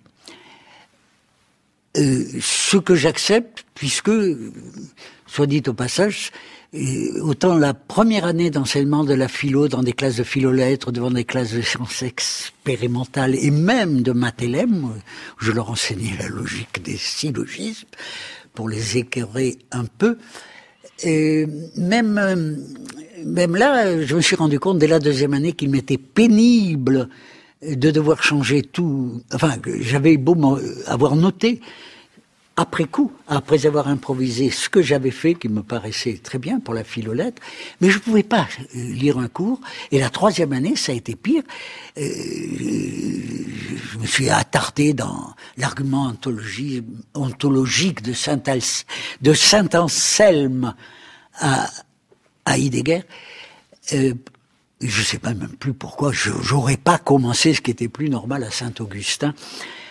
Sans doute parce que j'avais égaré mes textes à l'embarquement pour l'Algérie, ça je m'en souviens, où je n'avais sauvé qu'un volume qui était Les morales du grand siècle de Bénichou, et, qui sera le seul volume avec lequel je reviendrai d'Algérie, où j'ai lu beaucoup de romans policiers, inversement, euh, que j'allais acheter à Bougie. Mais euh, c'est ce qui m'a permis de faire euh, un cours aux élèves sous-officiers euh, au Mans sur les morales du grand siècle, qui étaient, euh, sur les auteurs classiques qui étaient au programme. Mais euh, j'ai compris qu'il fallait que j'enseigne moins. Donc c'est un calcul rationnel, autre, qui n'était plus l'amour de la philosophie dans laquelle je croyais vivre. J'ai cru, c'est un exercice de adolescent, du jeu de la gymnastique avec les concepts. Ça avait été Spinoza, puis Hegel, Marx m'ayant toujours accompagné en tant qu'historien, mais ne pouvant pas supporter, ça, ça a été à peu près la distance que j'ai prise avec Althusser à l'école, quand je me rends compte qu'il explique qu'après les thèses sur Feuerbach, on est, on est dans la coupure épistémologique où désormais Marx a rompu avec tout idéalisme philosophique et qu'il est matérialiste, que le matérialisme historique, c'est une science de l'histoire, comme une autre science, la science par excellence. Et donc moi, j'étais, m'étant un peu familiarisé avec la langue, la, grande musique de la phrase hegelienne, j'étais au contraire sensible, ce que je dis dans plusieurs articles à cette époque, que Marx n'est jamais sorti. On ne sort pas comme ça de Hegel. Et que la machine dialectique est une machine dont Marx, euh, oui c'est Marx lui-même, qui se vante, de euh, alors qu'elle tournait sur la tête dans le hegelianisme, de l'avoir remis sur ses pieds. Et donc d'avoir voulu, d'avoir senti fortement, par concept, que une machine infernale vous avez beau la retourner, elle est tout aussi infernale. Et que la dialectique, comme idée que la logique puisse être en même temps un moteur sociologique, était une idée idéaliste, historiquement intenable pour l'esprit scientifique. Et donc à ce moment-là, je quitte Hegel et je me mets à lire des, des sciences euh, positives, comme on dit, qui se développaient fort euh, pendant mes, mes années d'école, euh, aussi bien, puisque là il faut quand même je parle de Foucault, qui était l'autre proche, enfin le, le mentor. C'est pas un prof de philo parce que il, il, il a passé la grecque. Euh, il était trois promotions après moi et a passé la grecque la deuxième année, là, donc je l'ai fréquenté pendant trois ans, en tant que, d'une part, euh, pendant deux ans élève, où il était le mentor de notre petit groupe euh, debout dans l'aquarium le soir, ce que dont beaucoup de gens se souviennent, on, euh, on parlait de beaucoup de choses, mais en particulier de, de, d'horreur sur le système soviétique, les démocraties populaires et le Parti communiste, euh, ce qui était très différent de, des conversations avec Althusser. Mais Foucault était déjà quelqu'un, un brillant philosophe, que moi, philosophe, je me suis mis à admirer à cause de sa virtuosité. À cette époque, on n'arrivait pas à savoir s'il était, enfin, je n'arrivais pas à savoir. Et je voyais, puisqu'il publiait à mesure, euh, aussi bien dans... et après, il a été un an caïman de psycho à l'école. Et hum, je n'arrivais pas à savoir s'il était, si c'est son admiration pour Nietzsche, les derniers ouvrages de Nietzsche, et, et pour le manifeste communiste, était, c'était une posture euh, de, d'insurrection intellectuelle absolue, soit contre la vieille Sorbonne, la tradition néo-kantienne, mais en même temps contre l'ordre politique, social, répressif qu'il développera ensuite. Et il arrivait, non pas dire je suis marxiste, mais à se revendiquer du manifeste. Donc ce Foucault qui m'a beaucoup influencé, du coup, dans sa, euh, j'aurais préféré trouver un poste en psycho, surtout en psychopathologie, à la, pour quitter le lycée. Euh, auquel j'étais trois ans après le service militaire et avoir quitté l'école. Mais euh, j'avais suivi Foucault qui nous entraînait quelques agrégatifs euh, au cours de présentation de malades à, à la salpêtrière, oui et qui m'avait passionné, d'autant plus que lui, à cette époque, euh, a fait une introduction à Biswanger, euh, donc euh, Et donc la psychanalyse, surtout existentielle, à l'allemande, que j'apprends, que je découvre dans les cours de Foucault, plus Freud aussi, il faisait un cours admirable là-dessus. je, j'ai dit aux autres à cette époque, beaucoup s'en souviennent, mais le seul génie ici, c'est, c'est Foucault, hein, c'est pas Althusser, voilà. Et donc, dans cette admiration, j'aurais, bon, c'est tout naturellement, si je quittais la philosophie pour l'enseigner que 5 heures par semaine et non pas 15, euh, dans un lycée, c'était pour euh, aller vers la psychologie. Mais le poste s'est présenté en sociologie. Et pour moi c'était indifférent. Enfin, je veux dire presque, j'étais plus familier avec la philosophie classique que fréquente Durkheim. On le voit dans ses articles à cette époque, euh, qu'avec, euh, je ne l'étais pas avec, euh, comme Foucault, je trouvais un peu ridicule la psychologie expérimentale, Théodule Ribot, et ça c'était l'éclat de rire chez Foucault, ces gens, comme il explique, parce qu'il a été collé une fois à l'agrégation, je ne sais pas si je l'ai déjà narré ça, qu'ayant tiré, il a été collé une fois parce que par excès de, suffisance euh, normalienne, enfin philosophique. La, philosophie est arrogante euh, quand elle est, quand elle regarde de haut les petites sciences humaines. Il avait eu, il avait tiré une question qui s'appelait l'hypothèse. Et la certitude, comme il l'expliquait, mais bon, je l'avais aussi, où il était devant un jury, où on attendait qu'il parle, comme disait Foucault, du pipi de lapin et du rôle que ça joue chez Claude Bernard, euh, dans l'introduction à la médecine expérimentale, pour les provoquer, on ne peut pas dire autrement, il a choisi de ne parler que de l'hypothétone et de l'anhypothétone, de l'hypothétique et de l'anhypothétique chez Platon dans la République. Et donc, il, il s'est fait ramasser pour mauvais esprit, dirais-je presque, pour quelqu'un qui devrait enseigner la philosophie. C'est un jury très traditionnaliste. Et donc Foucault a failli m'entraîner vers la psychologie. Mais finalement, c'est Aron, parce que Aron vous propose un poste et donc, de sociologue, d'assistant, que vous acceptez. Avec une certaine mauvaise conscience philosophique, bien que ça ne fût qu'un exercice, parce que je me souviens que devant des gens vraiment philosophes, euh, comme euh, Foucault, euh, Althusser aussi était opportuniste, si je puis dire, dans sa vie professionnel ne serait-ce que Caïman préparant, indépendamment de toute influence politique, les agrégatifs à l'agrégé de philo. Mais j'étais, j'étais déjà, outre mon anticolonialisme politique, j'avais été très tôt au lycée, et ça, ça a continué, séduit, séduit, parce que les philosophes n'appellent pas philosophes, c'est-à-dire les philosophes du XVIIIe siècle. Et là, Frirung, aussi bien Diderot que d'Alembert, que, que la métrique Cabanis euh, et l'inventeur du sensualisme, de la statue à Condillac, ce XVIIIe siècle qui invente euh, le rationalisme de la Fréron, qui en Allemagne donne Kant, mais quand même euh, les Lumières en Europe, c'est la découverte de l'esprit scientifique. C'est pourquoi les, dernières années de l'école, je lisais ce qui se publiait en linguistique, enfin, en traduction française, quand c'était de l'allemand ou du français, mais, ou alors c'était euh, de l'anglais souvent, en psychologie clinique, en psychanalyse, bien sûr, Freud commençait à être traduit, et, et d'abord il était traduit en anglais, et euh, en linguistique, et en anthropologie au sens où à cette époque on appelait ça plutôt ethnologie, c'est-à-dire les Vistros.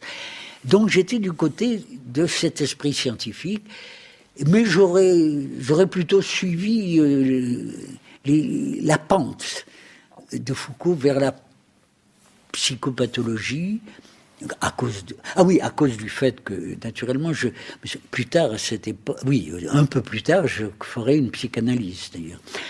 Et donc mon désir de comprendre les choses des sciences humaines et, de, les, de les faire ensemble dans la recherche scientifique, comme euh, avec en même temps que la pratique des sciences historiques, l'histoire étant le matériau sur lequel nous pensons si nous pensons aux sciences de l'homme. Et euh, je, Althusser avait euh, toujours parlé, qui d'une part assez secrètement, enfin après il le met dans ses écrits, euh, d'abord a été longuement en psychanalyse, euh, pratiqué, y compris Lacan, qu'il a invité à l'école, la psychanalyse, mais en même temps disait, voilà, ce sont deux continents, Freud et Marx, enfin l'histoire et la psychanalyse. Et, il faudrait faire le lien. Mais cela dit, j'ai pas trouvé chez lui le lien. Et euh, voilà. Alors que je me disais, euh, voilà, il faudrait bien euh, faire des sciences comme ça. Alors, logiquement, vous auriez dû, euh, dans le sillage en quelque sorte de, Foucault, vous retrouver euh, à travailler sur la psychologie. Mais le marché du travail, en quelque sorte, des sciences sociales euh, se professionnalisant, c'est ce, ce, poste se spécialisant. C'est ce poste d'assistant que Raymond Aron vous propose et qui va faire que vous rencontrez sur un quai de la gare de Lyon, Pierre Bourdieu, parce que c'est le poste qu'occupait avant vous Pierre Bourdieu. Oui, qui part à Lille euh, au bout de 4, de 4 ans, je pense, pendant que moi j'étais en lycée à Marseille. Et, comment dire, les circuits, ça aussi, il y en a une sociologie à cette époque, comme maintenant ça passe par d'autres cheminements, ces recrutements même par des élections. Mais à cette époque, c'était au contraire à la, c'était à, la décision du patron, du, prof titulaire d'une chaire euh, en Sorbonne ou dans une fac de province. Et par conséquent, euh, euh, d'une part, Paul Venn, qui était déjà assistant de latin, je pense, à la Sorbonne, et qui fréquentait Aron, plus tard, cette fréquentation l'amènera à être soutenu par Aron au Collège de France, après qu'il ait publié Comment on écrit l'histoire, auquel Aron fera donner un prix de l'Académie française. Bon, donc, euh, et là non plus, je pense pas que Venn, très serviable, tout ce tas de choses, avait parlé de moi à Aron, qui cherchait un assistant. Et dans les circuits de cette époque, c'est agrégé de philo, normalien, plutôt. Euh, bon, c'est pas que les circuits actuels avec élection. Premier à la grecque de philo, quand même, ça doit aider aussi. Oui, oui, oui, oui. C'est, oui.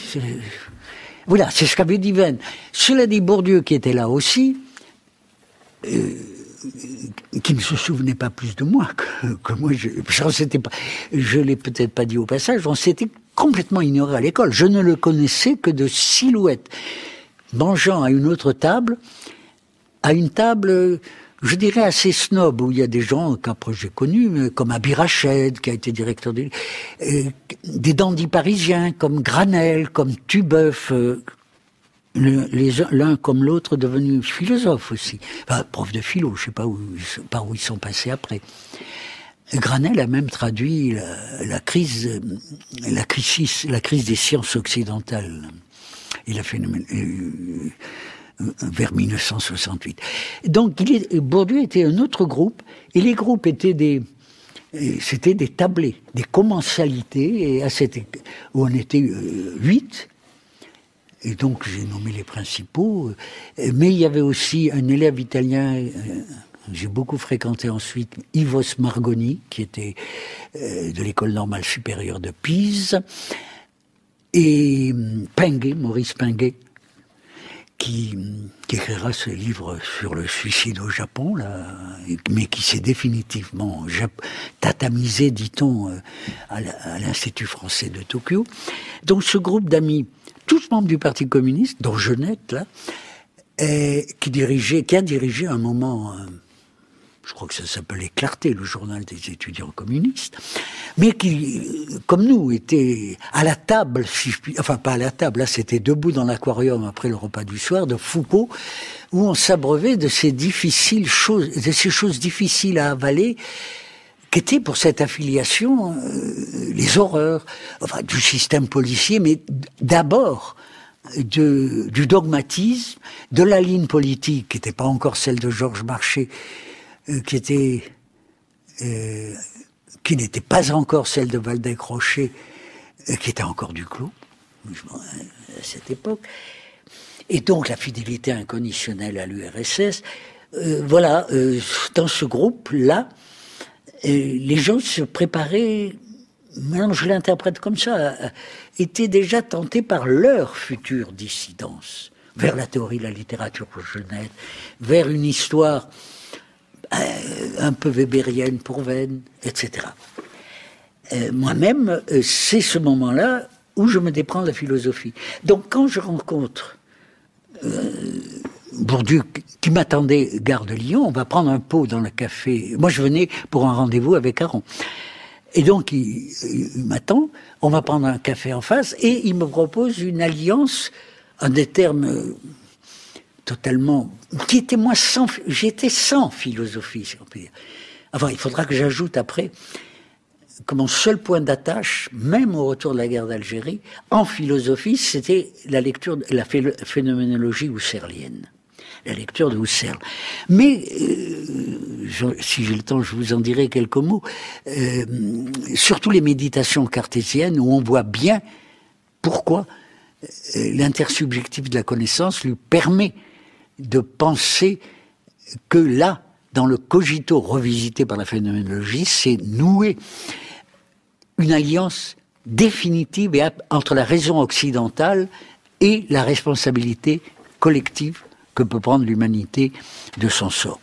Donc, euh, un peu phénoménologue, mais sans, sans philosophie, en tout cas pas vraiment marxiste, tout en restant sensible à, l'histoire des luttes de classe sociale. Euh, Bourdieu me propose de faire des enquêtes. Il me dit, tu comprends, je suis secrétaire général du centre d'Aron, moi je pars à Lille, et, bon, là, on va... Euh, Aron, il est très libéral, ce qui est évident, enfin, je l'ai toujours dit, euh, et donc, avec les, crédits américains, la confiance que lui fait la Fondation, on peut avoir de l'argent pour faire des enquêtes empiriques, puisqu'il veut ressourcer empiriquement sa sociologie, sa sociologie critique des, utopies plus ou moins fumeuses de la gauche parisienne. Donc, Aron était prof de socio en Sorbonne. Et à cette époque, bon, moi j'ai débarqué, je débarquais avec mes fiches sur euh, Lévi-Strauss, Mauss, euh, Durkheim, bien sûr, Balbax, euh, pour enseigner la sociologie, comme assistant d'Aron. Et Bourdieu me dit, on va, euh, on va faire de la recherche au centre. Donc, tu, es d'accord? D'abord, euh, passons sur les détails. Il y a Crozier au milieu, mais il va ailleurs, en sociologie des organisations. je pense que Bourdieu avait quand même un certain culte de, la philo dont il était, et simplement, on se rend compte dans le, la philo, il y en a marre. La philosophie, elle est dans l'impasse heideggerienne. On va pas faire de l'histoire de la philo. On va pas visiter les archives husserliennes euh, à Louvain, comme font euh, des gens de notre génération qui veulent rester philosophes, et on va pas refaire euh, une thèse sur Descartes ou même Spinoza. D'ailleurs, lui, ça aurait été sur Leibniz qu'il admirait, moi sur Spinoza. donc, on va faire de la socio, mais en renflouant le courant de la sociologie européenne d'avant-guerre, où il n'y avait pas cette pauvreté d'idées qu'il y a dans la sociologie empirique à l'américaine, la Zansfeld, etc. Mais on va faire des enquêtes et se servir de des arbres de l'enquête pour avoir une théorie sociologique euh, plus riche. Et donc on a passé cet accord euh, qui a duré euh, pendant les, 12, pendant les 12 ans, nous avons publié ensemble, lui-même venant de l'ethnologie et ses premières publications sur euh, la Kabylie. Et là, quand j'arrive, qu'il transposait à, telle, à une enquête qu'il faisait sur le célibat au Béarn de son enfance. Voilà. Une alliance. Et Bourdieu a pu expliquer par la suite que son expérience algérienne avait, joué un rôle dans sa conversion de la philosophie vers la sociologie. Vous, vous ne diriez pas la même chose. Votre expérience algérienne n'a pas... Euh, ah non, pas du tout. Elle était purement politique. C'était, je vois plus que faire. Mais euh, l'expérience anti-philosophique, la mienne, était euh, de était de, de pratique d'une science de l'homme que je commençais à lire beaucoup. Et donc, euh, comme ça n'a pas été la psychologie, j'ai pas, j'ai plongé dans les enquêtes sociologiques. Ah oui, mon expérience n'était pas une expérience originaire. Euh, mon village dans le sud-est, euh, que je connais bien, où j'ai commencé quelques petits travaux comme ça, mais pour les noms propres de famille, de choses que non, j'ai des j'avais des interviews qui me les faisaient vivre en quelque sorte, mais c'était mon expérience scolaire. Et là aussi, je rencontrais Bordeaux qui avait de mauvais souvenirs, enfin, de, son origine et ce qu'elle lui avait valu au lycée. Vous voyez, vous entendez dans les héritiers encore les échos du truc qui sont de Bourdieu, dans d'autres sont de moi, mais c'est pas les mêmes. Lui, c'est quand il parle impersonnellement, et nous l'écrivons ensemble. Je me dis oui, c'est c'est la pression parentale, la pression la, la, crédulité des parents d'origine populaire intoxiqués par les profs de français qui leur expliquent que leur, leur fils n'est pas bon en français. Et ça, le n'est pas bon en français, c'est sa mère entendant ça d'un prof de lycée à Pau. Et, tandis que moi, c'était passé là, c'était euh, une expérience scolaire de la mortalité scolaire, c'est-à-dire des gens après l'école primaire que je vois décrocher au lycée du latin, du grec, il n'y en avait pas. Ils étaient tous fils de médecins qui allaient devenir médecins. Et donc, euh, et après, c'est l'hippocane et la canne, et l'entrée à l'école. Et je vois très bien euh, ce que lui interprète comme une expérience de miraculeux, il emploie souvent ce mot. Pour moi, ça n'avait pas été ça. Ça avait été un tapis roulant dont j'avais, dont après, en tant que sociologue, j'avais un peu honte, c'est-à-dire un tapis roulant qui m'a déposé dans l'aquarium de l'école normale supérieure à partir de l'entrée en sixième. Pour moi, il n'y a pas de rupture là. J'ai rencontré la concurrence en Cannes, j'ai rencontré cette dénonciation de sursis euh, euh, après une première tentative à la grecque qui, qui, fait que je me retourne en Algérie et que je ne la passe parce que j'avais tout oublié pendant l'Algérie. J'avais lu que des romans policiers, et c'est excellent pour passer la grecque de philo. Il ne me restait que des schèmes euh, et des noms propres. C'était quoi ces romans policiers que vous lisiez? Ah, mais c'était ce que je trouvais euh, chez des chez euh, un marchand de comme sur les quais, mais à Bougie, il n'y en avait qu'un, des, romans policiers récents mais français, pas américain. Il y en avait très peu hein, de la série noire. Ça, je, enfin, je lisais beaucoup de romans policiers. De même, à l'école, mais ça, mais ça, ça a pas laissé, enfin, ça a laissé des dans la linguistique. Nous allions tous les jours au cinéma, c'est pourquoi je préparais peu la philo. Tous les jours? Oui, avec Molino ou Metz. Metz qui deviendra filmologue. Et nous, nous, linguiste, à l'imitation de la linguistique de, la littérature, parce que nous allions voir, euh, nous dépiotons, après les avoir, euh, l'avoir vu dans des, oui, dans des ciné-clubs souvent, parce que c'était des films un peu anciens, Le crime était presque parfait, de Hitchcock, ou euh, Le Faucon maltais, encore plus ancien, et ça, c'était ma, ma pente à la logique, lui à la linguistique. Et donc j'ai vu beaucoup de films. Et ça aussi, c'était un métier possible parce que le cinéma ou le scénario m'intéressait. Dans un livre qui, un livre d'hommage à vous, euh, dans son introduction, Jean-Louis Fabiani dit que vous aviez parlé de Max Weber avec Ava Gardner à Cannes. Oui, non, c'est faux, bien sûr. C'est les plaisanteries de, Fabiani, enfin, qui sont au départ les plaisanteries de Venn, hein, parce que comme j'ai rencontré à Rome pendant le tournage aux pieds nus, euh, comme figurant euh, à un bar, Venn racontant ça alors qu'il est très soigneux. Ah, vous avez quand même été figurant dans La Comtesse aux pieds nus. Euh, oui, dans une boîte de nuit, mais j'ai essayé de le voir. Euh,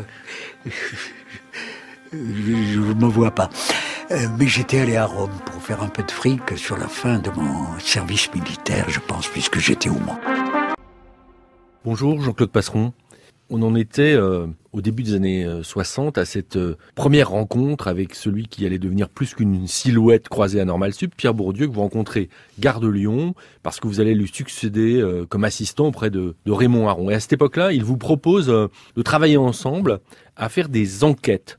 Il y a le financement pour ces enquêtes, c'est le renouveau de sciences sociales un petit peu plus empirique aussi. Et à l'école des hautes études. À l'école des hautes études. Oui. Alors comment se passe cette première réunion de travail et comment vous décidez de, euh, des objets de cette enquête, des, méthodes Comment comment vous vous mettez au travail qui va aboutir à la publication en 1964 euh, d'un livre qui marque l'histoire de la sociologie et que vous avez co-signé euh, avec Pierre Bourdieu, Les Héritiers?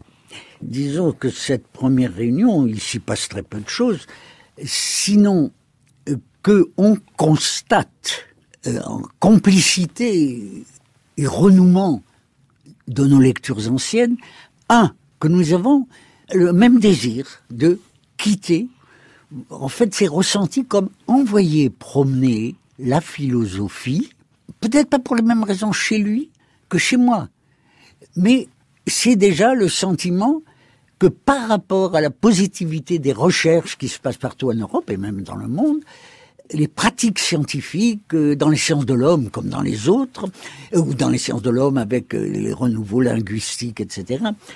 C'est ça que nous voulons faire. J'appelle ça en sociologie des enquêtes.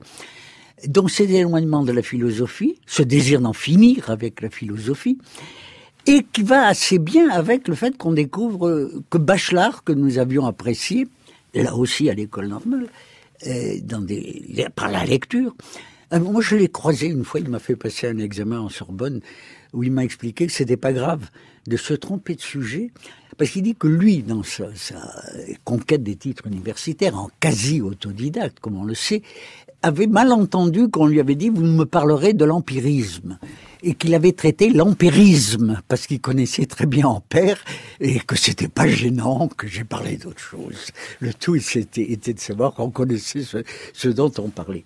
Et donc ce Bachelard se prêtait à merveille à travers l'histoire des sciences et en fait, disons-le en un mot, sa théorie des révolutions scientifiques. Enfin, son histoire, sa description de ce qui se passe dans une théorie scientifique et de ce que euh, Thomas Kuhn appellera le changement d'un la substitution d'un paradigme scientifique à un autre comme grande scansion de l'histoire des recherches dans toutes les sciences.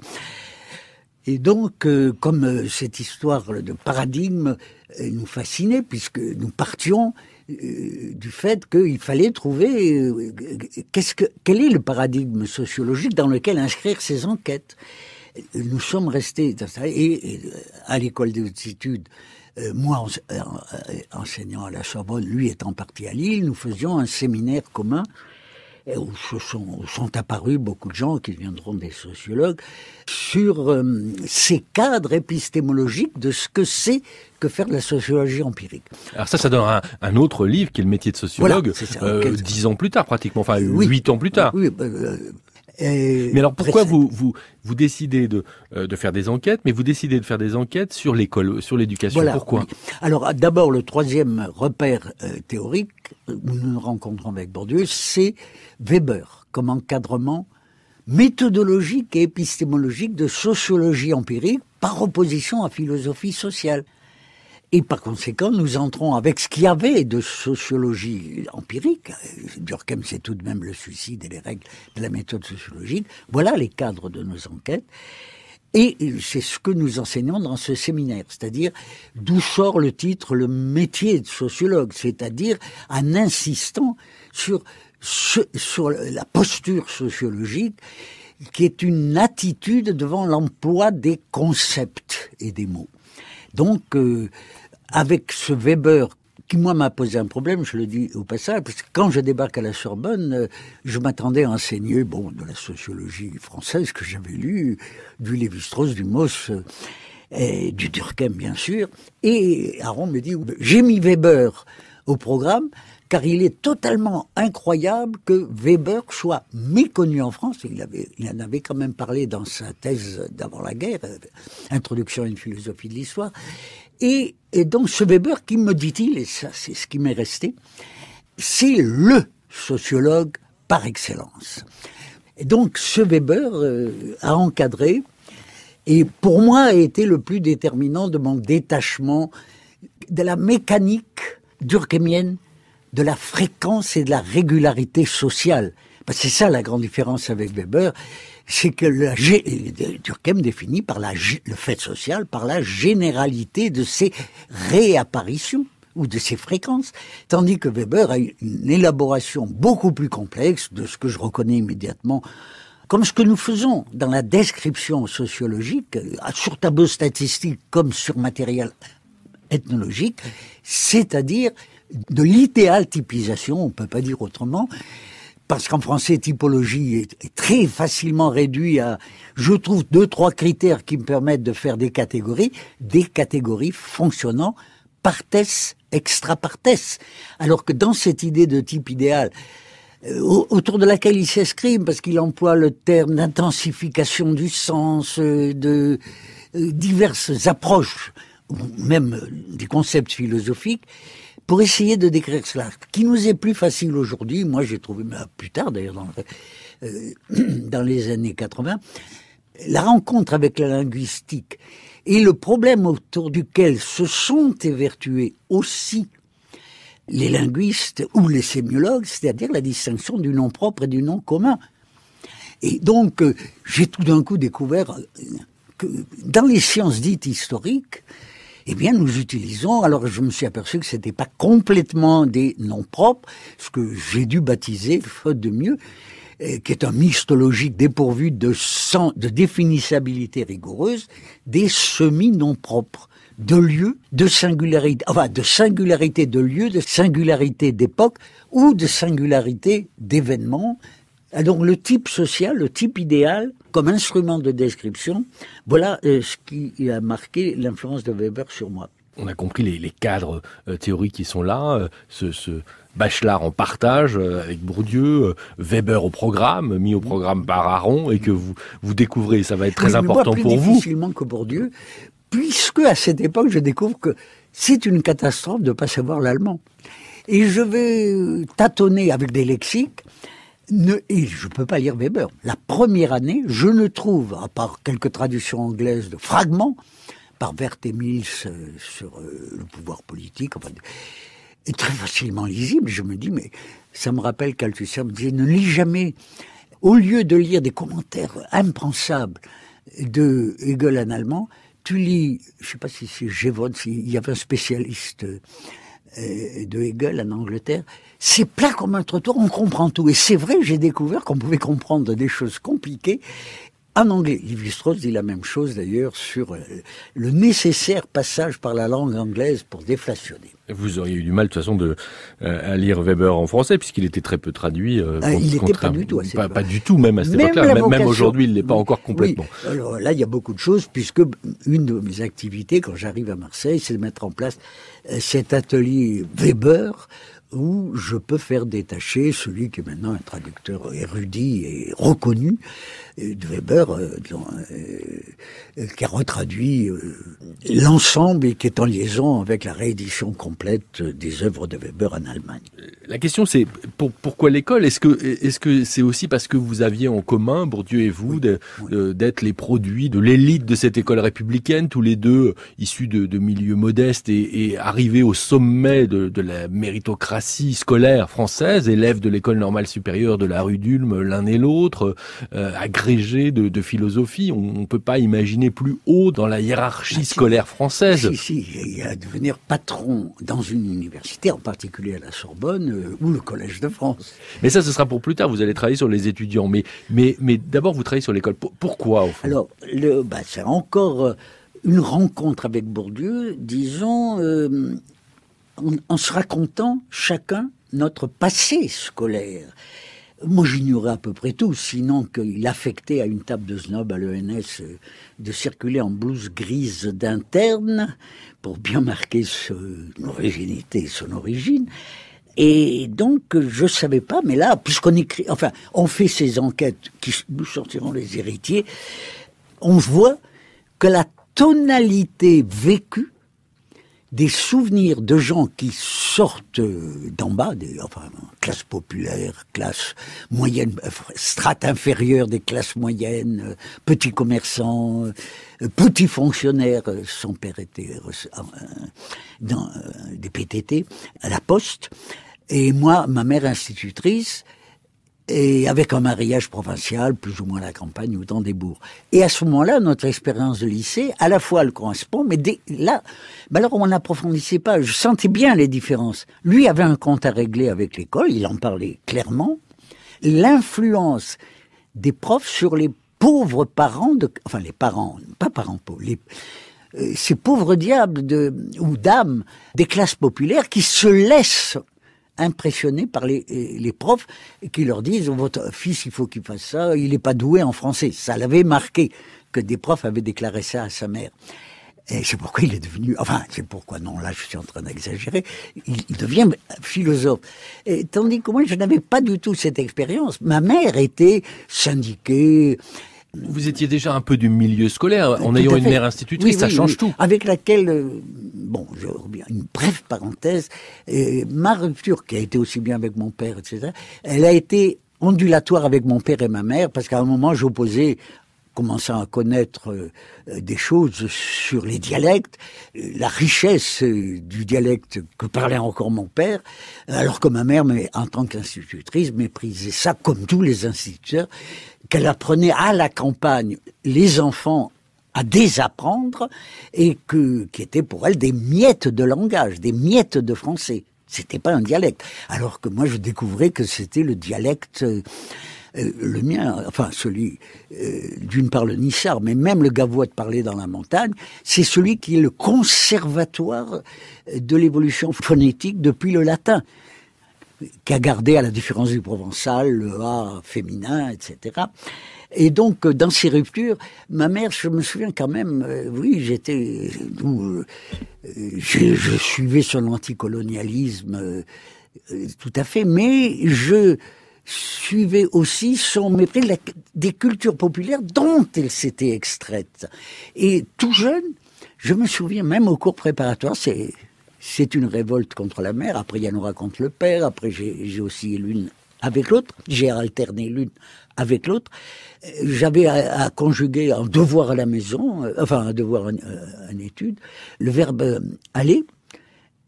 Et donc, au lieu de mettre je suis, au passé, aller à tous les temps, donc au passé composé, je mets j'ai été.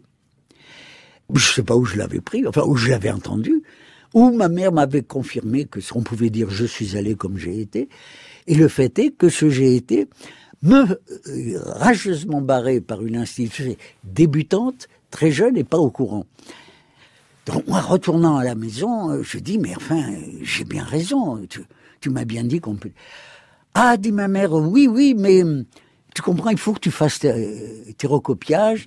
Euh, et j'ai senti que c'était pas ma mère qui me parlait, mais l'institutrice solidaire d'une débutante à l'école. Et j'ai dit, mais quand même, la vérité la vérité grammaticale, enfin, actuellement je le formule comme ça, j'ai senti comme un choc, elle m'abandonnait en tant que mère et me parlait en tant qu'institutrice.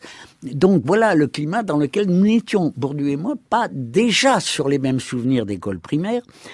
Et moi, là, je suis, euh, j'avais été imprégné par euh, parlant vite, le caractère euh, à gauche de ses opinions en tout domaine et de ses pratiques rigoureuses syndicales qui correspondaient, ou religieuses, puisqu'elle était athée. C'était dans ces pratiques-là que je suivais sur cette pente syndicale son révolutionnarisme trotskiste. Elle était abonnée à l'école émancipée, vous comprenez? Bien que parce qu'elle avait des réserves sur le culte du chef pour les, communistes qui l'entouraient elle dans le syndicat national des instituteurs, mais nous dans la famille, il y avait des communistes euh, des deux côtés, du côté paternel comme du côté maternel, de petites gens, artisans ou paysans à la campagne. Par conséquent, euh, je voyais que euh, toute première discussion, Bourdieu voulait utiliser, euh, euh, a beaucoup voulu dans les héritiers qu'on parle de cette illusion d'émancipation politicienne qu'ont les, les, politiques euh, de gauche dans les syndicats. On ne s'émancipe pas. Pour lui, c'était l'école reproductrice à 100%, et qu'elle fut émancipatrice au titre culturel. En quoi il... Moi, j'étais d'accord que les euh, le corps des enseignants, mais plus tard, ça sera notre accord sur les profs et l'imprégnation par les humanités classiques de nos professeurs de français, latin, grec, bien sûr, malgré mon amour du grec. mais euh, ce fait de vouloir s'en prendre à une tendance syndicale, si je puis dire, fait que j'ai empêché, j'ai lutté pour qu'on ne se serve pas de l'illusion de l'émancipation entre guillemets euh, de l'école de l'école en général, de ses liens avec l'ordre social établi. Mais alors, concrètement, Jean-Claude Passeron, comment ça s'est passé ces enquêtes? Parce que vous étiez deux euh, philosophes de formation, euh, vous n'aviez jamais fait de terrain, comme on dit, euh, sociologique, et vous avez dû élaborer des questionnaires et, construire un dispositif d'enquête. Comment ça s'est passé? Eh ben, ça s'est passé de la manière suivante, c'était le quatrième ou cinquième point en commun, nous avons dû apprendre la statistique, sans l'avouer. Et je me suis rendu compte qu'à part pour la psychologie, où je suis allé bien euh, ben, enfin, apprendre euh, le problème des courbes de Gauss, des distributions, de la statistique non paramétrique et des tests de signification, mais dans des ouvrages anglais. Il n'y avait que le Ehrlich flamand pour les psychologues, mais c'était pas, c'était pour la distribution, pour les courbes. Donc j'ai dû apprendre dans Facts and Figures, euh, on trouvait dans Penguin Books tout, tout ce qu'il fallait, euh, donc autodidactiquement, et nous en parlions avec Bourdieu dans nos premiers questionnaires des épreuves de signification, jusqu'où il fallait aller, quelle importance leur donner, et comment, en s'apercevant qu'après ça, qu'il y ait telle relation entre X et un Y, entre X1, X2, X3 et Y1, Y2, Y3. Et c'était une relation qui montrait quoi? Qu'on interprétait comment? Est-ce que c'était la cause? Et dans quel sens? X de Y ou Y de X? Ou X euh, en relation avec Y, ça cache une relation de X avec Z, variable attente dans le langage euh, de Boudon par exemple. Donc c'est du recyclage euh, statistique, mais en se refusant de le couper de l'entretien qui, auquel nous nous sommes pas ralliés immédiatement. Bourdieu attendra vraiment pour leur faire confiance euh, la misère du monde, là. Bien après notre rupture. Moi, j'avais quand même cette, déjà cette défiance, puisque j'en voyais autour de moi des étudiants dans les thèses 3e et d'en faire. Et puis, même des gens publiés des analyses de ce qui se passe en France, avec 7, 8, 10 entretiens d'un milieu social, etc. C'est-à-dire, ça j'en ai été, et je suis resté persuadé, il n'y a plus à ce moment-là entre le descripteur, observateur sociologue, et la parole de ces interviewés que la fragile barrière des guillemets. Et pourquoi il sait que c'est ce que disent ceux-là, ce qu'ils disent de leurs actes, qui est la vérité sociologique de leurs actes? Et donc, on a appris la statistique, et nous avions l'un et l'autre, alors, c'est là qu'intervient le nom de Marcel Magé, qui a travaillé avec nous sur ses premières enquêtes et qui a fait un manuel d'ethnographie métropolitaine, et nous l'avons associé euh, à ses enquêtes sur les étudiants. Euh, c'était la notion d'inventaire et de description par inventaire de ce que les gens font dans leur journée. Dans ce manuel, on explique à quoi il est important de compter les casseroles, de voir leur métal, etc., dans une cuisine paysanne, que c'est ça l'inventaire. Et que l'inventaire des objets du monde, de l'ameublement du monde tel qu'il existe autour de chaque groupe social ou familial, c'est une partie de la description scientifique. Donc, euh, lui avait réalisé très tôt son enquête sur le célibat au Béarn, avec ses souvenirs, retour de Kabylie, en projetant la méthode euh, ethnographique sur le terrain euh, béarnais. Et moi, j'en ai simplement tiré une curiosité que j'ai continué pendant des années à écouter ou à enregistrer les gens du village de mon père et, à faire des petits trucs qui prouvent, voilà, j'en ai pas tiré grand chose parce qu'on était en plein passage. Donc ça avait une valeur conservatoire. On est en plein passage de la fin des paysans. Mais donc j'ai connu à la fois dans mes grands dans les grands-parents euh, dans ce village et chez mon père et les gens de sa génération le dernier usage normal et naturel du dialecte euh, local, le gavotte dans la montagne, qui n'est pas le nissar que j'entendais à Nice. Et par conséquent, euh, voilà, les, curiosités qui se sont jointes dans la manière de décrire sociologiquement ce qui se passe pour faire de la sociologie scientifique et expliquer en même temps ce que veut dire scientifique au sens de Bachelard. Comment vous écriviez euh, à deux? Eh ben, euh, voilà, c'est parce que Bourdieu, peut-être plus que moi, était encore plus occupé par. Enfin, après, en plus, il allait à Lille où il organisait des choses. Et, et moi, assistant euh, d'Aron, je devais aussi faire beaucoup de choses. Et mais au centre dont il était secrétaire général, le centre de sociologie euh, européenne. dont Aaron était le directeur en titre, à l'école des hautes études, euh, j'ai c'était lui le secrétaire général. Donc moi, j'ai surtout enseigné en Sorbonne, participé à des colloques, etc., en portant cette pensée épistémologique qui deviendra le, le, métier de sociologue, par exemple face à l'UNEF, puisque à cette époque, c'était à l'époque des héritiers, ça. Euh, alors Bourdieu n'aimait pas à cette époque les affrontements euh, directs avec des masses dans une salle où il y a des l'UNEF ou autre. Et donc c'est moi qui me déléguais, si vous voulez, me déléguais volontiers, à, faire front à l'UNEF, qui à cette époque avait comme cheval de bataille euh, au moment des héritiers, avant 68, le présalaire pour tous les étudiants. Jeunes travailleurs intellectuels, c'est sa définition. Et donc, expliquer que ça n'était pas, comme il disait, le moyen que les plus riches, les, élèves, les héritiers précisément, fils de cadres supérieurs, euh, enfants, c'était pour elle le moyen, qui ne demandait que ça, les pauvres jeunes étudiants, de ne plus dépendre de leur famille réactionnaire et de devenir en tant que jeunes travailleurs des révolutionnaires. Et donc, je devais aller expliquer à l'UNEF, euh, je me souviens, enfin à l'UNEF, devant des assemblées d'étudiants qui étaient déjà déjà âgés, pourquoi on peut faire n'importe quoi avec euh, la reproduction qui, avant d'être culturelle, est économique dans les familles et que c'est plus tard, on a fait, euh, après 80, j'ai fait faire des enquêtes là euh, sur le revenu des étudiants, mais j'ai fait confier pour la partie questionnaire à...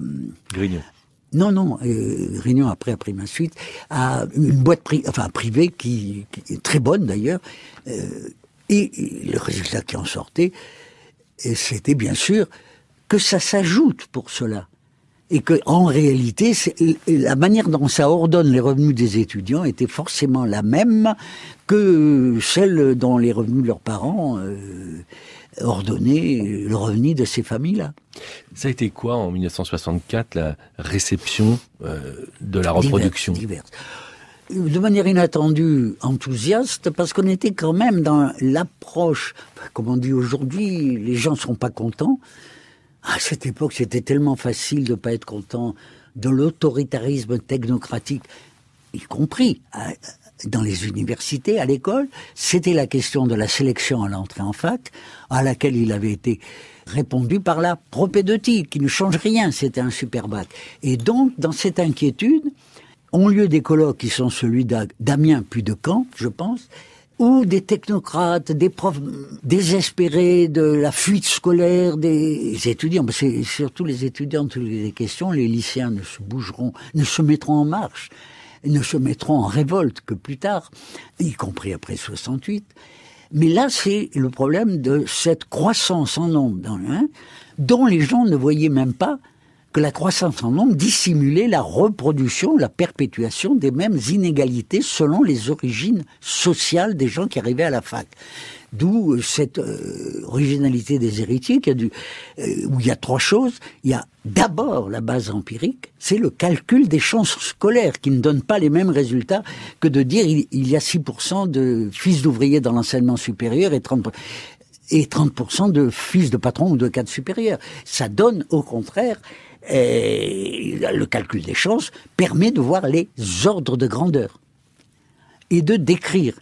Et du coup, en décrivant, de poser un autre problème à l'interprétation des causes par lesquelles ça se fait, et, que le calcul des chances prenait, c'est-à-dire si vous naissez fils d'ouvrier plus un, alors il fallait prendre les statistiques 20 ans plus tôt, c'est cela que Darbel nous a aidé à faire dans ce modèle qui est un annexe aux héritiers, et ce calcul des chances montre la l'ampleur, et le calcul des chances refait dix ans après, je pense, dans, la reproduction, il est un annexe aussi, montre que la translation vers le haut, évidemment, euh, la montée des taux de scolarisation entre 20 et 24 ans enregistrés, ne change pas la nature des désirs d'accéder à l'école et à peu près pourquoi il y a cette liaison étroite entre l'innovation dans l'enquête et la manière dont elle est encadrée par l'interprétation avec des notions que nous découvrons à ce moment-là. Mais là,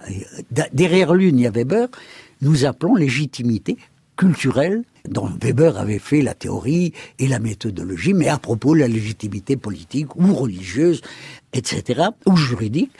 Et nous voulons montrer que euh, c'est une légitimité appuyée sur une institution, mais pas seulement. C'est-à-dire que la légitimité culturelle, elle est aussi dans les, la maison des, enfin, en France, c'est pas une maison des écrivains, mais dans l'intelligentsia littéraire qui n'est pas universitaire, et que c'est euh, un répertoire et un répertoire qui est beaucoup plus qu'un répertoire euh, qu'on rejoue.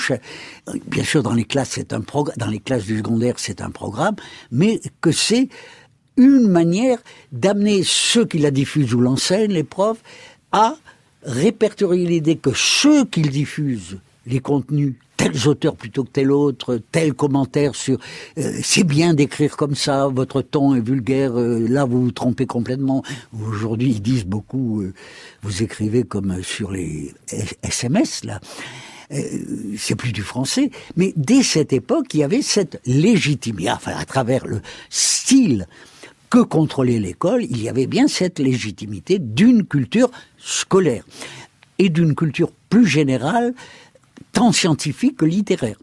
Simplement, nous étions contemporains du moment où la culture générale légitime est passée des pages roses du dictionnaire de l'époque de Herriot.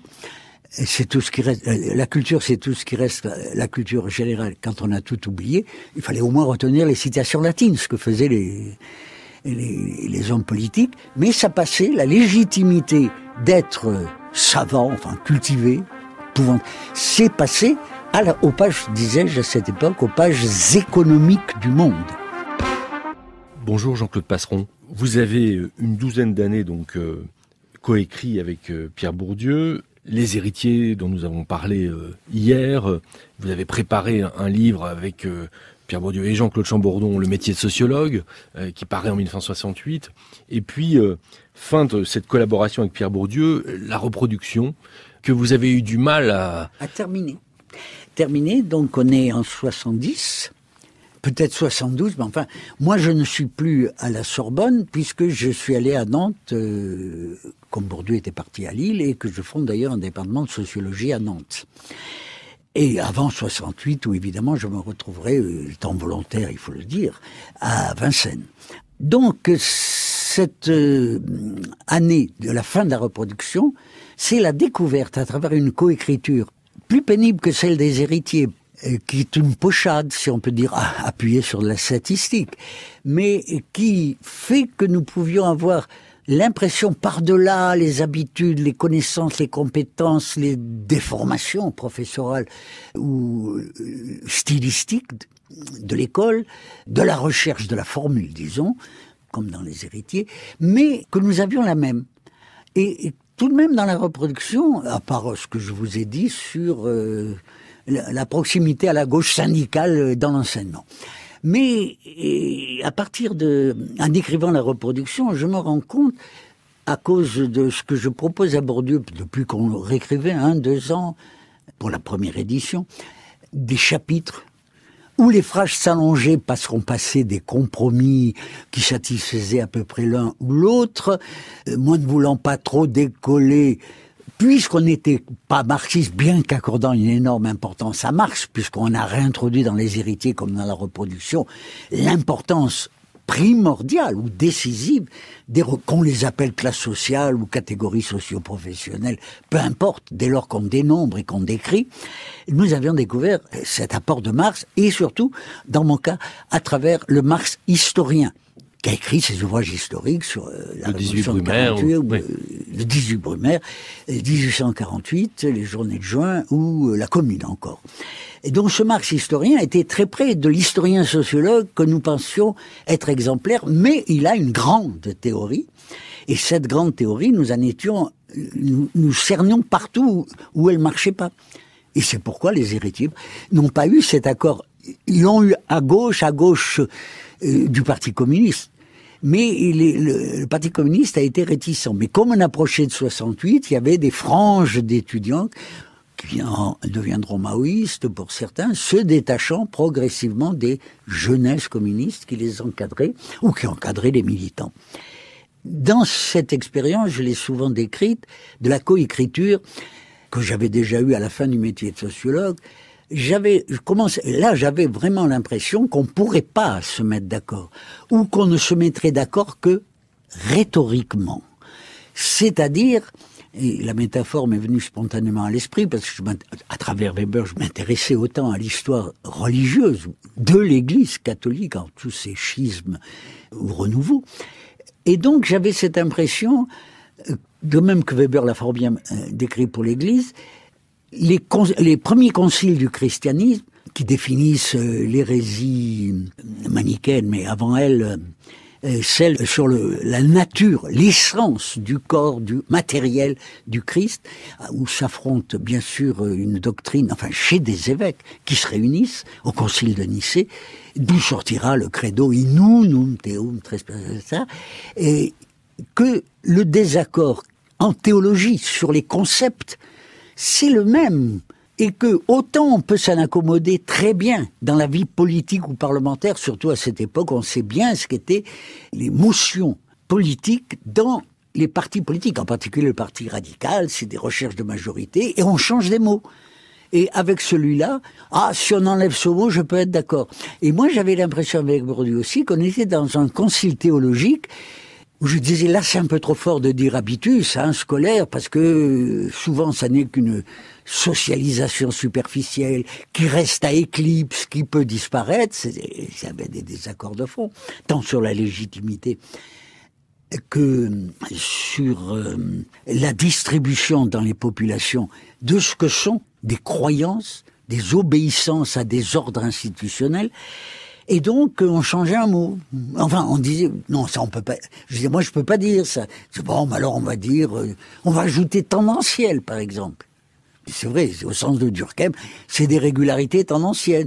Mais il faut pas que ça induise le lecteur à penser que c'est vrai à 100% parce que c'est dit dans ces mots-là. Donc cette tension se jouait sur l'écriture. À, vous entendre, Jean-Claude Passeron, on a, l'impression que c'était un peu euh, Émile Durkheim et Max Weber qui essayaient d'écrire un livre ensemble. Exactement, c'est ce que j'ai écrit à cette époque. Mais je me suis même forcé, autre compromis, mais ça c'est dans un autre article, à expliquer pourquoi on trouvait, on trahissait pas Durkheim. Enfin, moi je trahissais pas Durkheim. solidaire de l'école laïque de ma mère, etc. Si on prend les arrières d'humeur, parce que on trouve déjà chez Durkheim, dans la distinction entre la cause et la fonction, ce dont Weber fait au même moment, ou fera, enfin non, s'ils sont pratiquement contemporains, fera la distinction entre les motifs allégués dans une action ou une autre. Et pourquoi il prendra euh, interaction plutôt que comportement euh, comme matériaux du fait social. Ces épreuves, l'écriture du métier de sociologue, euh, euh, l'écriture euh, de la reproduction, qui, qui, vont faire que vos chemins se séparent avec Bourdieu, qu'il y a une rupture, mais c'est pas spectaculaire, c'est pas. Ce n'est pas spectaculaire du tout, parce que nous avions contracté dans cette, cette épreuve de confrontation pédagogique, d'abord nous parlions ensemble jusqu'à 60, je sais plus quand, même après 68, dans ce séminaire commun fait à l'école normale, euh, où nous présentions cette épistémologie issue de la pratique du métier de sociologue qui chez nous devenait de plus en plus sûre d'elle-même. On sortait des enquêtes, et on publiait des comptes rendus et même des livres. Et donc, euh, j'avais simplement le, lu comme moi c'est pourquoi, quand il est mort, euh, on se voyait plus depuis longtemps, mais d'une part, je l'ai écrit pour les Japonais, je voulais pas me mêler, euh, euh, déclenché dans le milieu intellectuel, mais parisien, avec vous êtes pauvre, vous êtes con. Boltanski est aussitôt stigmatisé par des petits disciples bourdivains d'avoir fait un truc où il dit simplement Bourdieu comme enseignant m'a beaucoup appris. Comment? Mais alors qu'il est le chercheur. Bon, donc j'ai refusé de, de, Enfin, j'ai peut-être dit non, quelques mots. Vous avez dit quelques mots à la suite dans les idées, euh, dans, dans l'émission, ah, le midi, juste le jour où on a appris la mort de, de Pierre Bourdieu. Ah oui, je oui, oui, ce jour-là, oui. Et là, donc, euh, je dis, ben, c'est vrai qu'on avait euh, amitié, c'est là que je sais pas. C'était une camaraderie, puisqu'on travaillait tous les jours ensemble, y compris sur des phrases, y compris la nuit, parce que le jour on était très occupés. Donc on avait une proposition de l'un, il y avait une machine à écrire, à cette époque euh, c'était pas le traitement de texte, il fallait sans arrêt retaper, puis faire taper, tellement c'était des collages, des corrections, à la pauvre secrétaire qui à cette époque était encore celle d'Aaron, à l'école des hautes études, laquelle tapait en même temps chaque matin. Aaron l'a dicté au téléphone, ça m'impressionnait beaucoup, son éditorial au Figaro. Il le dictait. Et là, la pauvre devait retaper pas des, pages complètes de, de, collage, et à peine on les avait, ces pages, on commençait à les corriger. Donc c'était laborieux. Alors vous vous orientez vers euh, euh, la sociologie de l'art? Subséquemment parce que je suis à Nantes, puis à Vincennes, et je commence pas de la sociologie de l'art à Vincennes, où il y avait parmi les militants révolutionnaires bien des gens qui se disaient artistes ou esthètes, et c'était pas possible de faire le, le tri entre science, idéologie, et ce qui se débattait. Euh, à cette époque dans des AG, et non pas sur des places publiques euh, comme aujourd'hui, mais c'était, moi euh, je reconnais aujourd'hui un climat que j'ai bien connu à Vincennes, porteur de plus vives utopies, mais en même temps qui brassait de grandes quantités de populations qui avaient des visées utopiques. Enfin, les étudiants étaient mobilisés, puis les lycéens à 100%.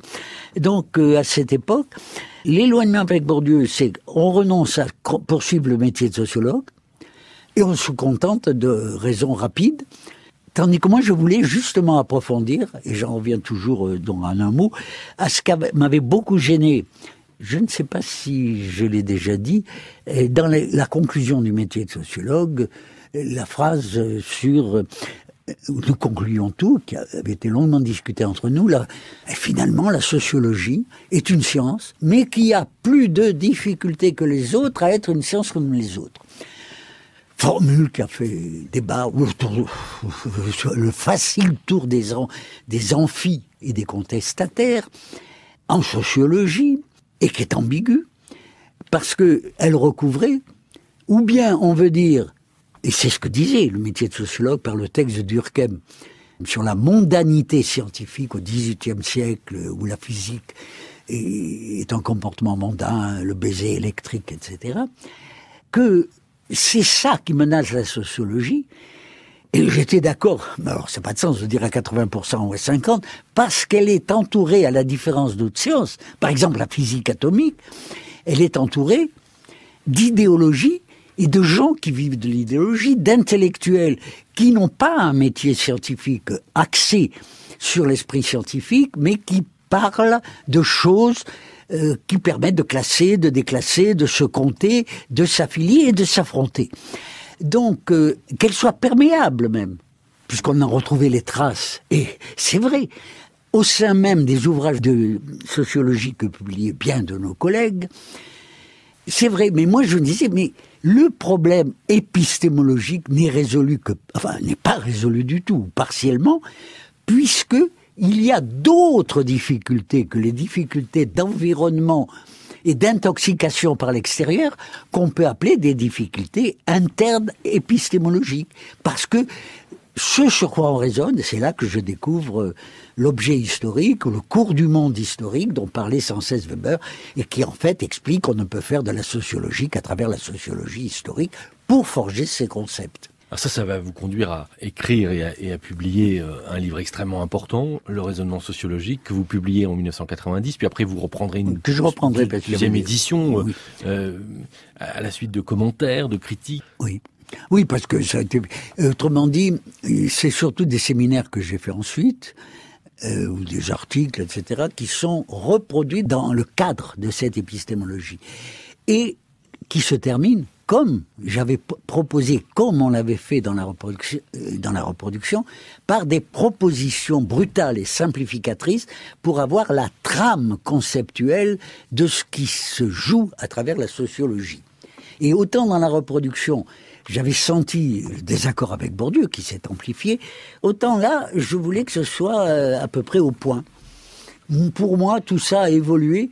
J'avais déjà une admiration pour les analyses sur les, questions que se posent les philosophes de tel ou tel objet, philosophes de l'art, philosophes de la connaissance, à travers Wittgenstein.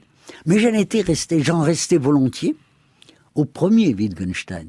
Et, à mesure que je lisais les cahiers, puisqu'il y a des publications partielles de ces cours parlés, euh, le cahier brun, le cahier bleu, euh, j'étais, mais que je découvre et finalement dans son ouvrage final, les investigations philosophiques, où tout d'un coup il est clair, très pénible à lire puisque c'est un recommencement perpétuel, et il agit sur euh, l'épistémologue que j'étais un peu devenu, je dirais par imbibation plutôt que par persuasion. C'est vrai que quoi que vous essayiez de penser, je suis d'accord, je suis pas d'accord, est-ce que ça liquide pas la, la scientificité de toute science, en sociologie comme en logique, j'étais bien obligé de me dire, mais si, ça me convainc. Donc Wittgenstein m'a de plus en plus convaincu. Alors vous disiez qu'au début des années 60, euh, ce qui vous réunissait, Pierre Bourdieu et vous, c'était l'envie de quitter la philosophie, de faire faux bon à la philosophie, mais au fond, la philosophie, elle est, elle est revenue. Vous parliez de Wittgenstein. On peut lire dans la deuxième édition du raisonnement sociologique que ce livre a été euh, relu par Georges Canguilhem et par Gilles Gaston Granger. Pas n'importe quel philosophe, quand même. oui. D'accord, mais il nous a d'ailleurs répondu, il m'a répondu, je me souviens. Oui, mais alors, je reconnais plus, moi, l'épistémologie que je faisais. Cela dit, dans le métier de sociologue, c'est bien à Canguilhem que nous pensons souvent à propos des obstacles épistémologiques, expression de Bachelard, mais dont il explique comment en biologie, dans l'histoire de la théorie biologique, euh, le modèle, mais on ne dit pas modèle, le schéma de l'irrigation sanguine a eu de la peine à céder la place à celui de la circulation sanguine. Et, que c'est un modèle agricole, enfin que c'est une première métaphore et que la science biologique fonctionne comme ça. Donc Canguilhem était vraiment une admiration commune. Je dirais pas seulement Bourdieu l'avait aussi, mais Althusser, Bourdieu comme moi, nous étions des lecteurs de Canguilhem. Voilà, c'est simplement Althusser était marxiste et moi j'étais plutôt phénoménologue, donc Husserl au passage aussi a joué son rôle. Alors, il y a un autre compagnonnage qui apparaît très important dans la dimension historique de cette épistémologie dont vous parliez tout à l'heure, c'est celui avec Paul Venn, j'imagine. Oui.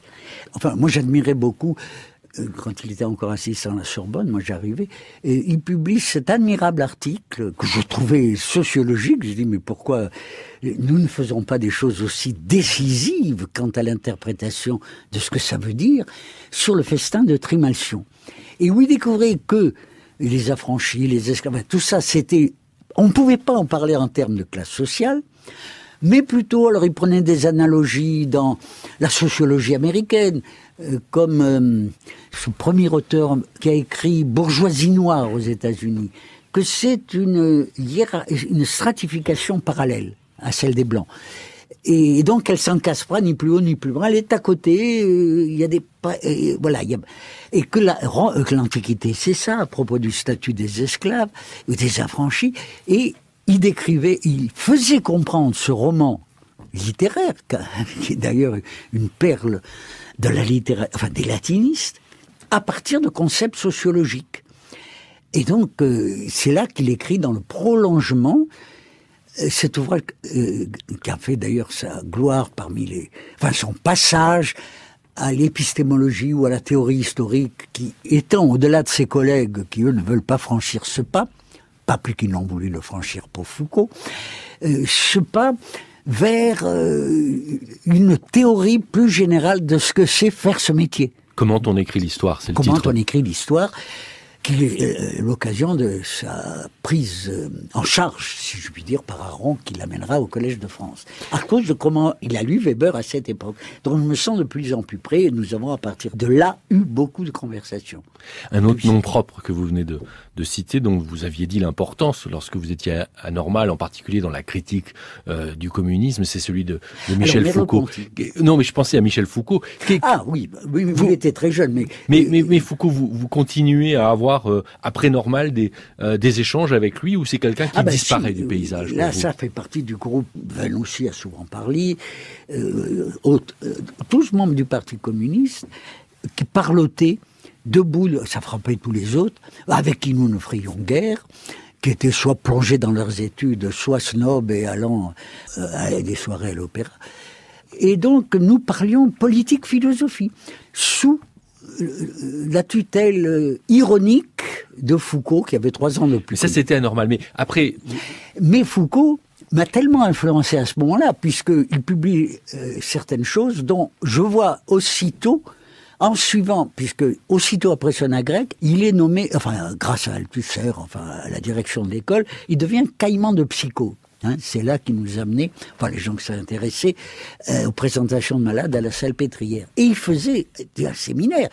Et j'ai découvert, tant sur la phénoménologie et Husserl, la crise de la, de la pensée occidentale, la crise, comme on dit pour aller vite, qui n'était pas encore traduite. J'ai découvert, et c'est là que j'ai dit à mes camarades, mais Foucault est génial, c'est le seul d'entre nous qui l'est. Et on a suivi. On a commencé ce, ce parcours euh, ensemble, Jean-Claude Passeron, euh, à Nice, où vous êtes né en 1930, mais j'aimerais qu'on qu'on le termine euh, sur les rives de la Méditerranée, mais dans une autre ville, Marseille, où vous avez décidé de, de vous installer lors de votre élection à l'école de hautes études en sciences sociales, dans une antenne de l'EHESS qui mmh. se développe alors. Euh, c'est pas la seule parce que il y en a une à Toulouse où les économistes... Oui, mais c'était la, la, principale à Marseille. Donc là, vous, vous, décidez au début des années 80 de vous installer, euh, de revenir dans le sud, mais de vous installer à Marseille, où vous avez créé euh, bah, des, des, groupes de recherche, un, laboratoire. Et, et, travailler et former aussi euh, des étudiants plus jeunes, qui, pour beaucoup d'entre eux, travailler sur la culture et sur les arts. Voilà. Eh bien, ben, je, je choisis l'élection en a été indépendante, de me présenter mon programme comme un programme que je décentraliserai à Marseille à cause d'une opportunité qui était les locaux euh, qui avaient été accordés par de fer à l'école des hautes études. La vieille charité. À la vieille charité, euh, bâtiment de prestige euh, dont la restauration se terminait. Arrivant là, il y avait de l'espace. Bon, je crois que j'ai dit souvent qu'en fait, c'est des raisons négatives. J'ai voulu quitter Paris. Non pas parce que j'avais déjà euh, organisé à l'école des hautes études, pendant que j'étais au CNRS, après avoir quitté Vincennes, un doctorat de sciences sociales en général, préparant à l'histoire, à la sociologie, à l'anthropologie, toujours sur la lancée de ce que j'avais toujours fait. Mais là, plus persuadé que jamais que les sciences euh, historiques avaient en commun la même situation de travail entre théorie et empirie. Euh, mon épistémologie devient une épistémologie des sciences historiques. Et donc, je, à, travers ces thèses, à travers euh, l'influence qui se défaisait du métier de sociologue, qui a duré dix ans quand même, euh, puisque beaucoup de gens sont passés par là, il y a ce qui étant restés très près de Bourdieu, ont adopté ce langage mécaniquement, et puis, enfin, y compris parmi des gens anciens, comme Boltanski qui a rompu sur le fond. Euh, comme Grignon qui a mis plus de temps, mais avec qui d'ailleurs j'ai ensuite publié un ouvrage. Un livre important, Le savant et le populaire. Le savant et le populaire, justement sur ce problème des classes populaires, et, et sur le fait que ça peut être ni le décalque marxiste, de la domination économique, celui de la domination culturelle, ainsi de suite. Et donc sur la légitimité. Mais là, dans les jeunes étudiants, beaucoup étaient, enfin, comme à l'étranger ou en Amérique du Sud, et assez demandeurs de mais qu'est-ce qu'il y a d'autre que de venir à Paris et de, de, de, de, devenir sociologue dans le cadre du centre de Bourdieu, qu'il dirigeait toujours indirectement à travers sa position au Collège de France. Et donc c'est euh, euh, une habituation à pratiquer le pluralisme ou la pluralité théorique dans le travail empirique, c'est-à-dire à utiliser concurremment des théories qui ne se fondent pas comme en physique, comme dans les sciences exactes, en un paradigme qui, pour une période au moins, est commun à tous les chercheurs et qu'il aura toujours, qu'il y a, et qu'il faut admettre le caractère fructueux de euh, cette coexistence théorique dans laquelle tout travail empirique doit puiser des cadres ad hoc selon le terrain qu'il prend pour parler avec une certaine rigueur théorique, avec rigueur théorique, des phénomènes empiriques qu'il décrit ou qu'il explique. donc c'est ça mon enseignement à Marseille, d'où sort le raisonnement sociologique euh, réédité plusieurs fois depuis, et sur lequel je m'interroge d'ailleurs euh, en fin de vie, revenant là-dessus sur, bon, au fond, est-ce que j'ai été incohérent ou pas tout, sur cette longue euh, histoire? Et enfin, c'est ce que je fais maintenant, ou oralement ici, c'est, je crois quand même que si je regarde ma ligne de fascination pour euh, le 18e, le rationalisme des Lumières, puis l'esprit scientifique que décrit Bachelard, cultivé à travers les révolutions scientifiques, à travers Bachelard, même si après ça devient Wittgenstein beaucoup plus sceptique sur la possibilité, et appelant philosophie, identifiant philosophie et illusion philosophique, Hein. il appelle Investigation philosophique, euh, ouvrage qui n'a été, traduit qu'il y a quelques années et que là vraiment j'ai pu épuiser. Euh, il appelle Investigation philosophique. Elles sont, il dit mais c'est la seule tâche de la philosophie, c'est de faire voir l'illusion philosophique qui sort du langage, des jeux de langage qui sont partout. Moi, je m'en étais servi depuis longtemps. J'avais trouvé dans les, écrits, par exemple, sur l'esthétique et la morale de Wittgenstein, quand j'arrive à Marseille, de quoi tirer un programme de recherche sur qu'est-ce que l'art? Là, euh, dans cet essai où Wittgenstein, il parle surtout de la musique, explique que c'est un jeu de langage parler esthétique ou enfin philosophique ou beauté parce qu'on s'interroge sur tel tableau, ce Caravage, euh, euh ce euh, Piero della Francesca ou ce Velasquez, c'est beau. Ceci est beau. Ce qui ne veut rien dire. Au sens strict, c'est du non-sens. C'est la projection de, de l'emploi, la projection de l'illusion grammaticale qu'on asserte quelque chose en attribuant le, prédicat de beau à un objet, à un objet qui du coup change de nature, devient un objet esthétique, alors que c'est tout au plus, alors il prend cette métaphore qui m'avait frappé, il ailleurs il reprend des exemples analogues, c'est une interjection, pas plus. C'est comme, dit-il, quand euh, j'aime le chocolat et je sens le chocolat fondre dans ma bouche. C'est là, c'est différent. C'est le sentiment d'une d'une transition dans une transition musicale euh, qui me plaît. Mais je ne suis pas en train d'opérer euh, dans un jugement de goût une affirmation logique. Donc la cohérence de ce parcours qui est le vôtre n'a rien de contradictoire avec ce plaidoyer pour le pluralisme. Oui, ah oui, oui, bien sûr, non, le pluralisme fait partie de la seule chose.